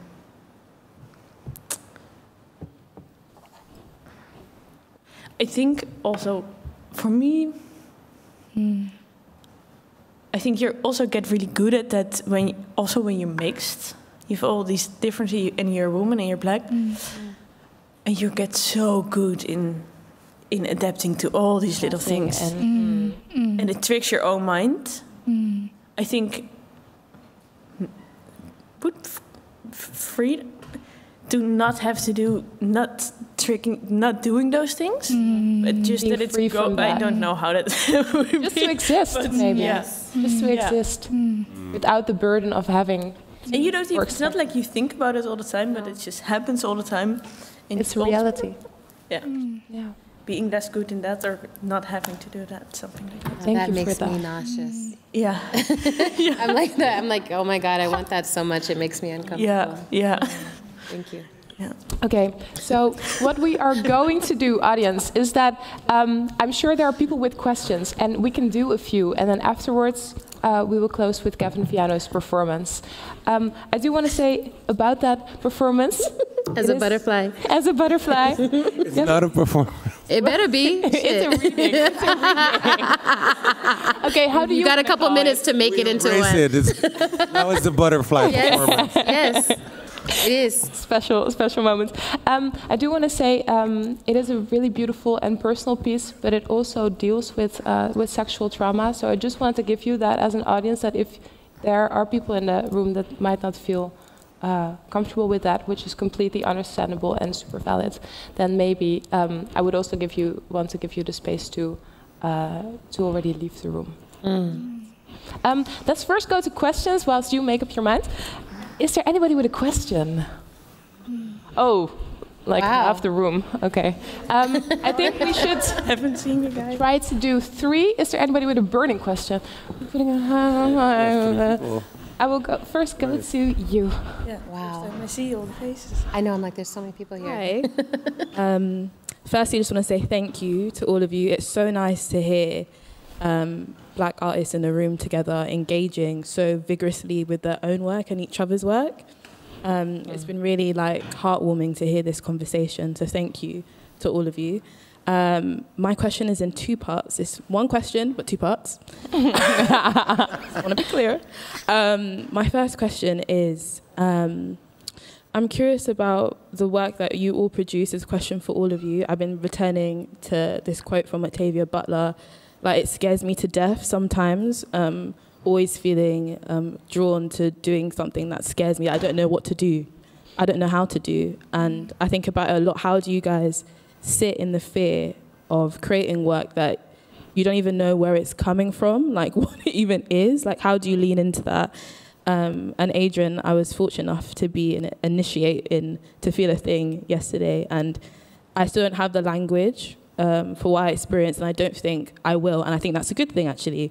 Um, and I'm happy about that. I'm just curious for you, like, because you talked about how you sort of receive songs and like it speaks to you. Like, I think it's similar to me, and uh, something is speaking to me now, and it feels. It started off as like a hum, but now it's like a whisper. Like, how do you nurture at the beginnings of it so it, it becomes like a roar that you you properly hear it? Thank you. Thank you for that. Maybe start with Adrienne. Sorry. Um, yeah, I mean, I, I will say this. You know, there's this beautiful Audre Lorde quote that's like, I'll paraphrase. It's basically like, you're going to be afraid anyway, so speak. And I think when it comes to this work, for, for me to feel a thing, um, like I've written so many words down and I try to be very personal and present in everything I make. But this feels like the most personal thing I've ever done in my life, in part because every part of it is really scary to me. Like saying to a room full of people, come listen to these songs I recorded on my voice memo. I mean, every single person that was a part of this piece is eh, the expert at what they do, right? Each singer is one of the best singers on earth, and the band is like the best band, and the director is like an award winning director. Everyone is like the best. And I'm over here like, I was a theater kid, and uh, I haven't done this for 25 years. I don't know what my voice is going to sound like, but you know, will you do this? So I just want to like, it has been so terrifying. Every single step of it has been so terrifying, and especially the singing. Like literally every time we're going to do it, I'm like, I get cotton mouth. I forget how to breathe. I'm like, I can't sing like these people sing. I don't know what to do. And but the thing you just asked, like how do you make something into a roar?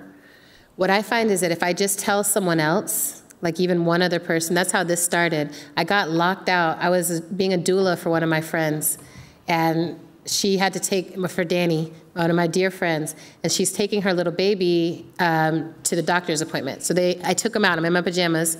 I take them out, put the baby in the car, close the car, go back to go in the house, and I'm locked out in my pajamas, no phone, nothing. And it's like shit. Now they're gonna be two hours at least.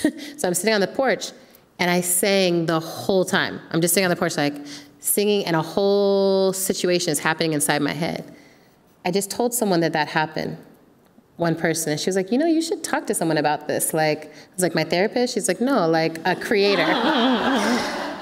But i kept telling one person and what i have found is uh, oh, you only need like one other person to believe in your potential and that is like just a little ray of sunlight on it. And then people will remember that. So over the years people kept asking like what happened with the music that you were don't you make music?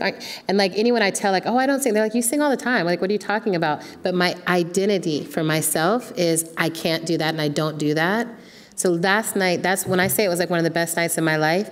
I was on that microphone like I was a singer, and I was singing my heart out, and I literally have no idea what it sounded like, but I know that I was having the fucking time of my fucking mm. life, and so it doesn't matter, right? Was, and the Winti priestess, that's what she said to me too. She was like, I don't know about singing in front of all these people, and then she was like, anyway, here's my song, and she just like started singing, you know? And I was just like, right, like even she, even everyone is like, I don't, even all the singers when I would talk to them, they're like, girl, I'm the same way. I don't know if what's gonna come out but you, you do it anyway. So I think there has to be, like, the desire has to be just a little bit bigger than the fear. The fear is going to still be there, but if you find the thing that's like, I desire this so much, and I really have lost so many people in this last period of my life.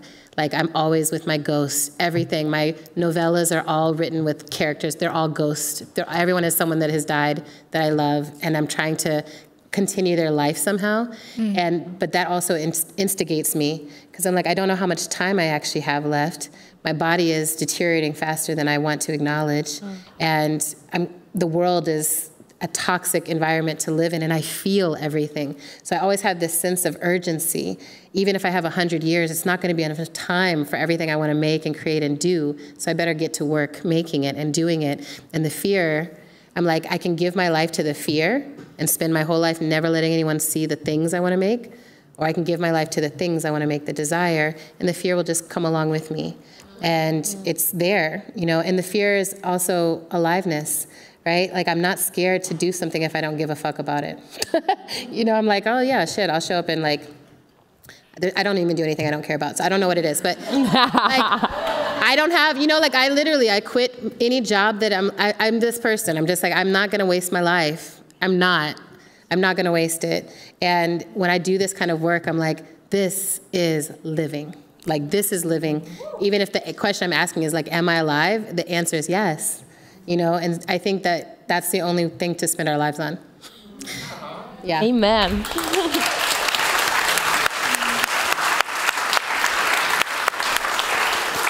But you asked a question that you wanted to hear the other artist answer also. I'm sorry I went on so long. yeah. Um, I guess it's sort of following on from what you said about sort of when you're creating newness, work that doesn't exist, new worlds. Like, how do you feel into the fear of that kind of like unknown of that, and still birth it um, anyway? And what's that, what's that conversation look like for yourself with yourself?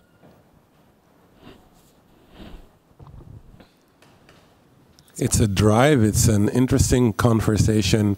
Um, it's almost something like optimistic fear or mm. uh, fearful pleasure.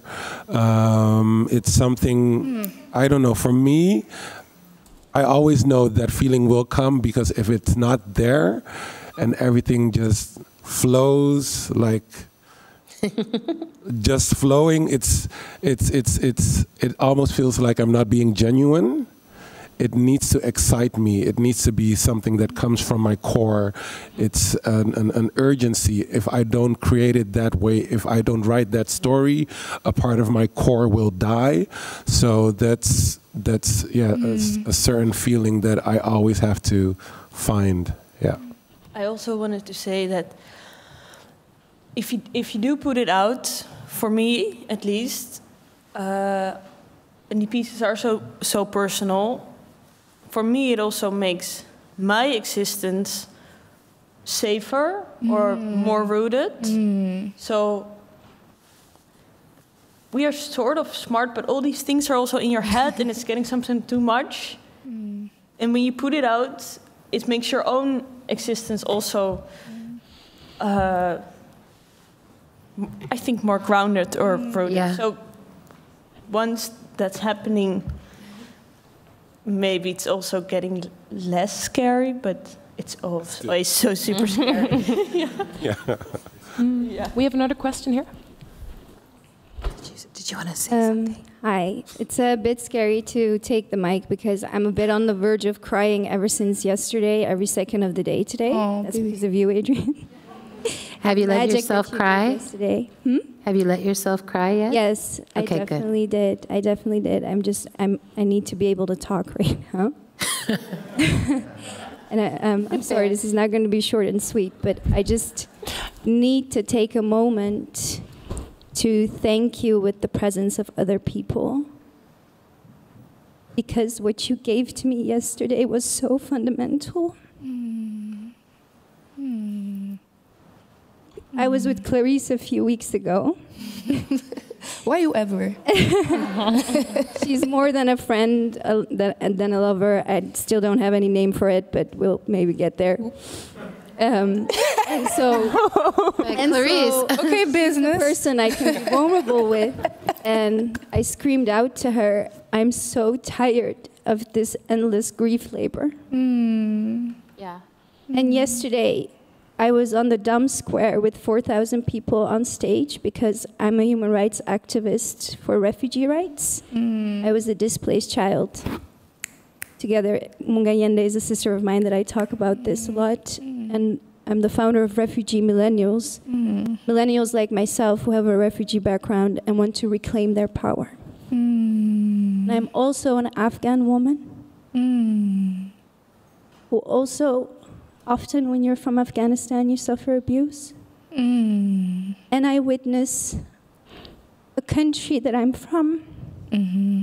with oppressed women that are having the worst conditions towards women in the world. Mm. And I have this background in a country that cusses out refugees on the daily. Mm. So imagine the grief labor we have to go through on the daily mm-hmm. with your existence here that goes mm. beyond imposter mm. syndrome. Mm. And so I saw you yesterday with a light on you. And I was wearing a fierce outfit because I was like, let's do gospel with high heels and everything. And I was like, I'm going to take these heels off. So I took them off and I was like, I'm going to sit across Adrienne. And I sat across to you. And at a certain point near the end, you asked, What do you need for your healing process? And I heard, My body is mine. Mm. And for the longest time, I, feel, I felt like my body is not mine. Mm. Because it's been claimed by so many pow- people in power, mm. especially with the background that I have. And I want to break that chain. Yeah. Yes. And you said once, I think, um, when a black woman orgasms, the world shakes. I did say that. Something like that. And I thought, when that's so inspiring. When Afghan women orgasm, Yes. I think similar thing happen. Uh, yes. Come on now.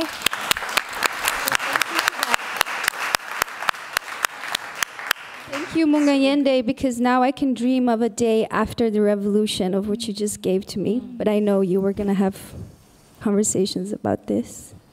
The day after the revolution, to be able to dream of that. Mm. And uh, my question is honestly, my question is Yes. we need more of what happened yesterday. Uh-huh. Everyone I spoke afterwards, they were like, we need to do this not every day or every week because it's intense. Mm. But how do you want us to move forward with this? You have disciples. We're ready. We're 12. Yeah. what would the answer be? Where, where can we start? Yeah. Thank you. Thank you.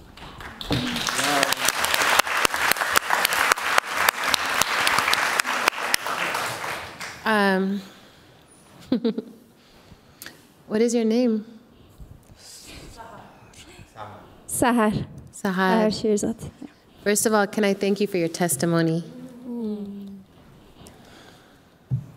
Um, you know, I think what you just did is like what I want is for people to go everywhere and tell the truth um, and make people be with the truth um, and let our voices shake and like I'm all of the time I'm trying to figure out how do I feel in real time like my my story, my life. I've been so good at not feeling in real time. My my my loved ones all know. I think that it. You know, there's one of the songs in the show. It takes days to open up the space to feel a thing.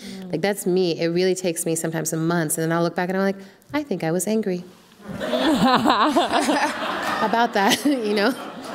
so uh, just on a human level, like I hope that everyone who encounters my work is the invitation is like, oh, recognize whatever is yourself, that we're connected, we're having these similar experiences, and the, the lie is that they're separate.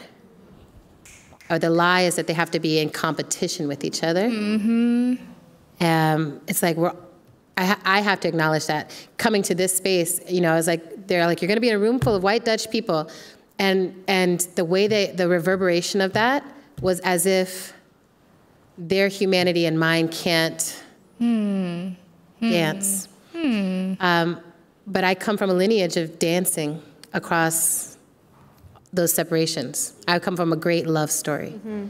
So I know there's something else that's true. Your existence. My existence is that, right? It's like, it was all a lie. So that's one thing, is like telling the truth in the face of the lie or any space where someone is asking you to lie. And I think if the society falls apart because of that, good. I think that's good. I think that this is a time when like a lot of fucked up systems actually need to fall apart, Mm. um, and, and we need to tell the truth. The second thing is my vision for that piece, for the To Feel a Thing ritual, is that it actually, we've, we've been playing with it and developing it, and we're making sheet music. Everything I'm like writing down, like here's what I'm saying, and not like a script, but more like a, a score, like an instruction. So that it's like, okay, here you welcome the people in, and now we sing this song. And then here you tell the people what a ritual is and what is emergence, and then we do the tuning. And now you testify, and then we do this song. And then you, you bring in your science fiction ancestor, and then we do this song. So that it's like, ultimately it'll be something that people my hope is that people are like we did it in a church basement. We did it in a field. We did it in our school. That we just did that people i'm like i think this is something that i believe everyone needs something like this. It, it doesn't have to be this one but some variation on a ritual. And and it's rooted in when i was doing um, these emergent strategy immersions in 2019 before the pandemic my, my, my thought was i'm going to go around the world and get everyone together for these four day intense deep dives into emergent strategy. And then COVID was like, no, you're not. You're going to sit still and you're going to try not to die while a ton of people around you die. That's what you're going to do. And then you're going to slowly come back into the world and no one's going to stop dying, but we're going to stop wearing masks. I don't know, right? It's just such a time. So that was like, I have to figure out how to get this thing four day experience because what kept coming up in the four days was the grief ritual was all anybody really wanted. Everyone would come and we'd be like, you can break into small groups, everyone can do whatever you want to do. And they would come back and be like, we have a grief ritual, we have a grief song, we have a grief this, we have a grief that. And I was like, fuck. That's, that's what I say when I say we're at the beginning of this great turning of ourselves the weight of slavery, the weight of capitalism, the weight of colonization, the weight of these things is, has had us completely flattened as a species. Like, we do not understand how flat we are until we begin to expand back into a part of ourselves. And then all of a sudden, it's like, wait, like, last night I was like, I'm much more than I thought I was. Like, if I open myself this way, I'm unflattened. Like I, I, I felt like us were filling the whole room, and spirit was filling all of us. And I felt, I don't know. I was like, I didn't know that was in me. But I think if we did this ritual all around the world, and, and I don't have to be there, that's also something that matters to me. I like to be at home. I like to be, I mean, I really tell people this. I'm like an introverted person who likes to be at home, high on my couch. I love playing Nintendo Switch. I like to be a person. So I'm like, I'm not, I, you know, when people are like, I'm your disciple, you know, I'm like, but I'm not a priestess. I'm not a, I'm not a goddess. I'm, I, I mean, I am a goddess, but like amongst a group of friends who call ourselves a goddess, you know, like nothing but in isolation. And that feels very important to me that I'm not creating a condition in which I have to be apart from people mm. and they have to get something from me that they don't have in themselves. But I'm trying to constantly be like, how do I feel something come through and be like, here, y'all, here, I found something that everyone can access, and it wouldn't work without Clarice, and it wouldn't work without my sister, and it wouldn't work without Holland Fest inviting me and saying, hey, here's some money. Do you want to develop this light tree in the middle of something, you know, like, so I, that iterative part, that's the piece for me. And I'm trying to get there as soon as I can, like to the, everyone has it. And Troy, my collaborator, and thank God for collaborators, Troy's like, but we need to get it to the standard. And I'm like, it's fine. People sing the songs. It's fine. It's great. Like literally, we sat in a circle in Oregon like this, practicing it, and I was I was orgasmically satisfied. I was like, this is amazing. They just sang these songs that came through my head. I'm fucking happy. He was like, but imagine if it was 30 people singing them. Imagine if it was 300 people singing them. Last night we had 500 people singing them. And maybe in St. Louis we'll have a stadium of people singing them. And Noni, she was like, You're thinking too small. What if a whole city would do this ritual together? Like, then what would happen? Mm. I don't know. That, I don't know. But I want to say that that, to me, the goal is like, I wish the whole world would pause for a year and do grief rituals mm. and then see what happens. Wow. Yeah. Guys, we are incredibly over time. We have like half. I was like, does time exist in here? I have no idea what's oh. happening. Well, you. it is. It is. I'm like, is anyone um, hungry? every, we will get to the bar. Unfortunately, I want you are all work. invited to to stay here and also stay at the bar and talk to each other. But I need his work. Of course, that's what we're going to okay, listen great. to now. I was like, but I need it. Make, we're we're two hours into this conversation, and finally we get to uh, listen to a beautiful piece um, by Gavin Viano. Um, Who's been double blessed by Beyonce and is a blessed. butterfly. And uh, a kind reminder for everyone who would like to leave before. Oh yes. Um, I think this is the time. Thank you for coming. Thank you for coming. Thank you for taking care of yourself. Yes. Um, can we do it? Oh, I was, I, was, I said before that um, Gavin Viano's uh, work is very personal and it's about uh, sexual trauma as well. I hear you. I just have a question. Um, oh, she had a question for her. Okay. Um, is it also okay if we do it after? Yeah? Okay, cool. okay. All right. Why must my chest produce these little sprouts of hair? Hmm. Why must my armpits generate a sweet and sour pool of sweat? Hmm. Why must my muscles pop like this and my voice sound so low? Hmm. Oh, hello, penis. All of the sudden, I am grown. Why must I operate during the day when my soul awakes at night? Hmm. Why must I be perfect? These rules are all too tight. Why must I be flamboyant and free? Why must the world see me when I love to hide?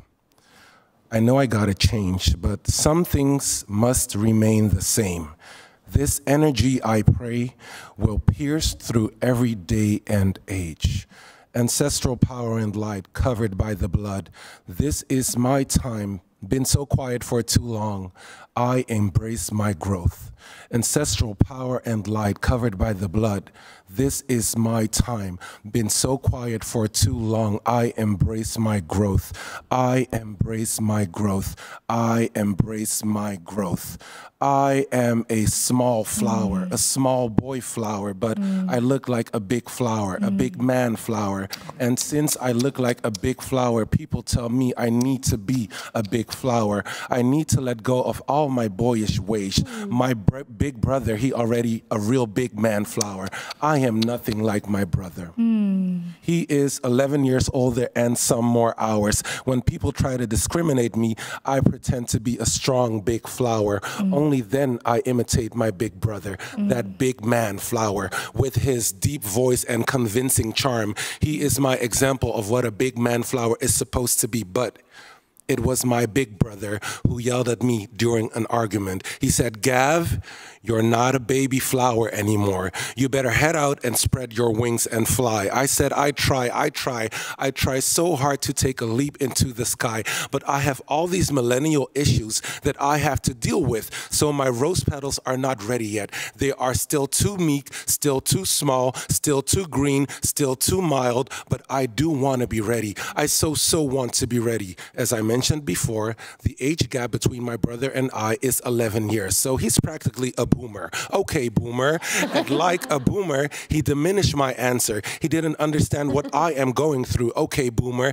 As he was judging my life, I started judging his life. I'm a Libra, so I like to create balance. Fuck you, boomer. I also like to destroy and fuck everything up if that yet again will bring balance. So while he was screaming, I decided that he would no longer have access to me. Goodbye, boomer.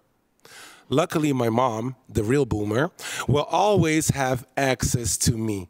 Hey, baby. Hi, mommy. How was your day at school? I liked it. Is that so? Uh huh. I wonder how much you liked it. I liked it a whole lot. That much? Yeah, a whole lot, lot. Was the teacher nice to you? Yeah. Were the children nice to you? Yeah. They made fun of your beautiful skin? When they do that, I just go away and I play with my friends. Hmm. Mommy will go to school and talk to the teacher about that. Are you excited for your birthday? Yes, I am. How old am I going to be? Aren't you a smart boy? Yes. Aren't you a bright boy? Yes. Aren't you an intelligent boy? Yes. Didn't you learn how to count? Yes, yes, yes. so count for me then. How old are you now? One, two, three, four. So how, how old are you going to be in 14 days? One, two, three, four, five. Good job, baby. Five. Wow.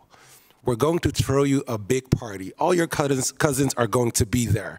Am I going to get some presents? Yes, you will. But only if you are a good boy.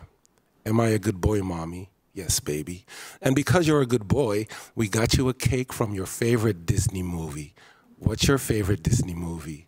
the Little Mermaid. Yay. Thank you, mommy. Thank you, thank you, thank you so much. Is that the cake you wanted? Yeah, yeah, yeah, yeah, for sure. Thank you. Welcome, baby. At five years old, I was the happiest child because I hoped to get a mermaid cake. And you know what? I got it. I also hoped and wished for something very, very stupid at that age. I wished to become a grown up. And you know what? I got it. Look at me now, a full grown human being. Nobody told me how hard this would be. Nobody gave me heads up. I saw my brother and sister enjoying life, but nobody told me that underneath those smiles, they were carrying the burden of responsibility, pressure, a chronic lack of time, sorrow, and pain. Do you experience the same?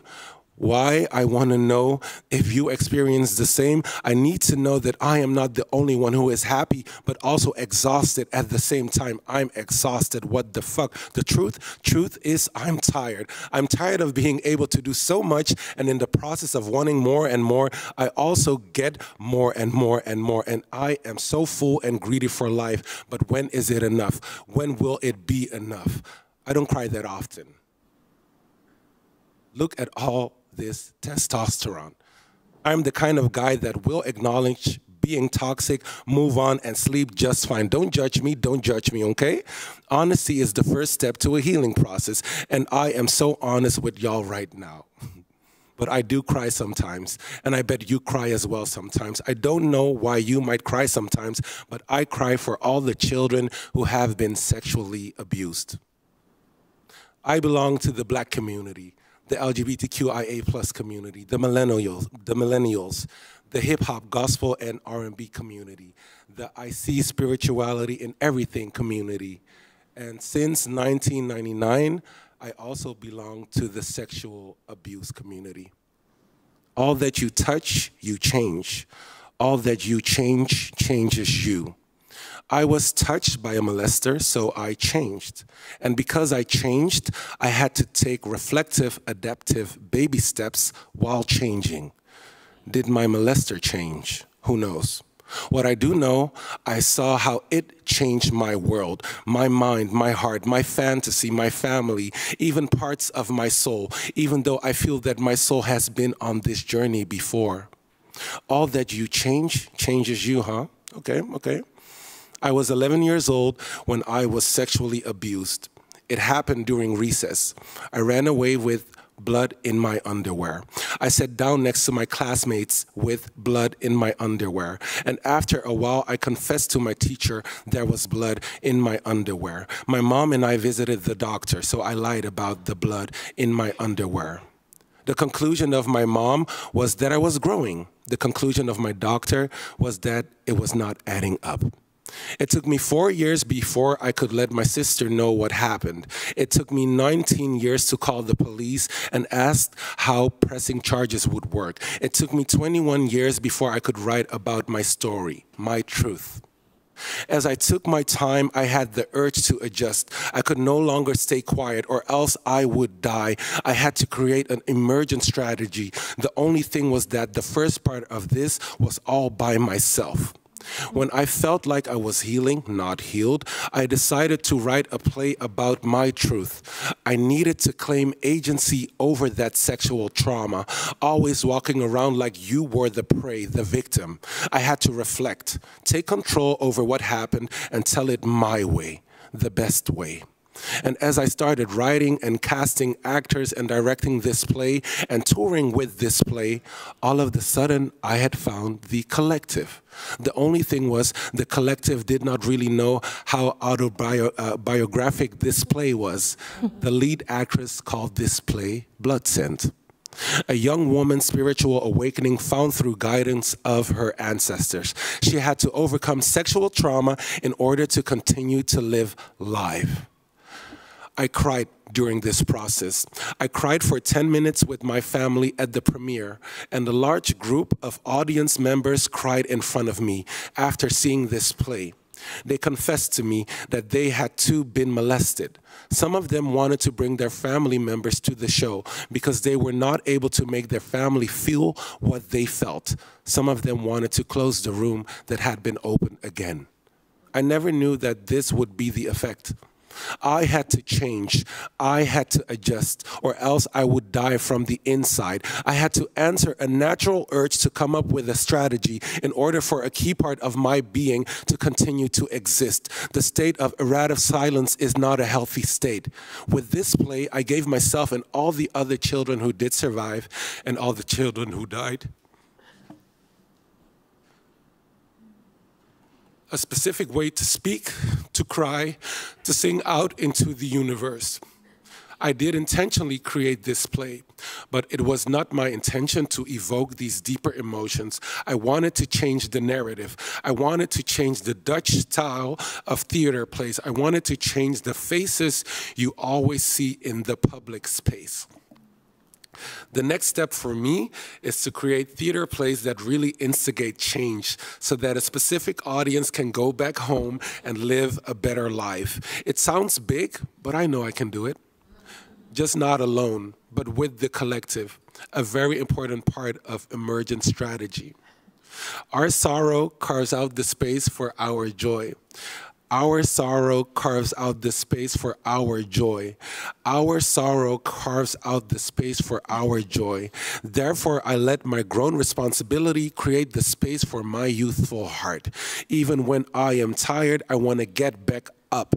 Even when I feel like I am an ugly duckling, I will find others who also feel like they are ugly ducklings, even when we are not. We are beautiful, even when the status quo does not see that. In this fucked up world, there is fucked up beauty, and I choose to be alive. I love life. I want to live. So every evening, I decide over and over and over that the next morning again, I will live. Hey, mommy. Yes, baby. Can I ask you a question? Sure. What's on your mind? Remember my fifth birthday? Yes, of course. We had three different outfits for you. 150 guests came. You were running around and shaking your booty like there was no tomorrow. Of course, I remember. what about it? Why did you buy me that mermaid cake? Why was I allowed to have that big mermaid cake. Why wouldn't we get you that mermaid cake? That's what you wanted, duh.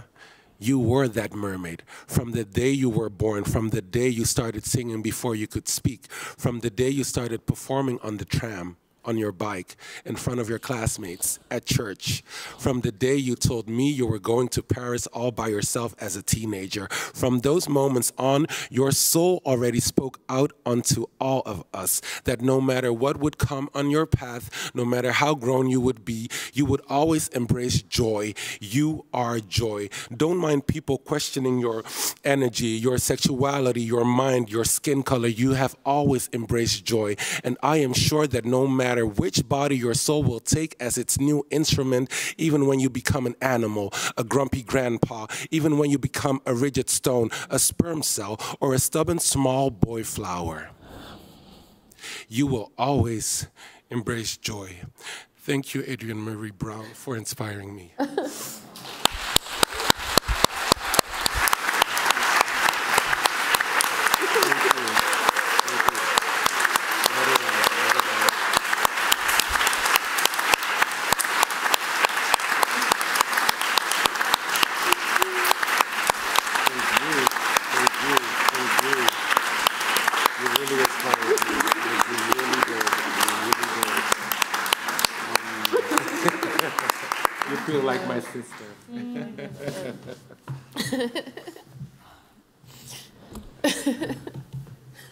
Thank you for that, Gavin Viano. That was really beautiful. Thank you so much for sharing that with us tonight. Um, if it's all right with the room, I know that there's a question here, but I would like to ask it, ask it later. Um, I think this is time to end the evening. I thank you so so much for listening. I want to talk my I want to thank my beautiful guests, Bodil Munganyende, Gavin Viano, and of course, Adrienne Maree Brown. Thank you so much for being here, for being in the space with us. so much. you guys are making me like snort cry. I um I just have to say I just really didn't expect all of this like whole experience. Um, it feels like we've been in a cave for a long time, kind of like away from each other. Mm. And I can't believe I didn't know you all, you know? Mm. But you all feel like a part of me. Mm. And I, I feel like a part of you. Like I feel more alive and more myself now because I know all of you and our work is weaving together. I even feel, I hope I can say this correctly, that I'm always thinking about death. And I just had one of my dear friends who died by suicide. Um, and and I have been wrestling with the fact that I can feel his peace, like this deep peace that he didn't have when he was alive as a black queer boy. He didn't have someone who was like, yes to the mermaid cake and yes to the joy. And it makes me feel like the peace of my own death is possible when I come across this kind of art. Because I'm like, the river is flowing. And I've done my part to move one rock out of the way. And you're doing your parts to move the rocks out of the way so we find each other. And like those who tried to genocide us, still try, they fucking failed because look at how we're flowing with each other. So I am so grateful. You give me a good life and a good death, if you know what I mm. mean. Mm. and I, I just love you all, and I hope we're a family forever now. Thank you guys for watching.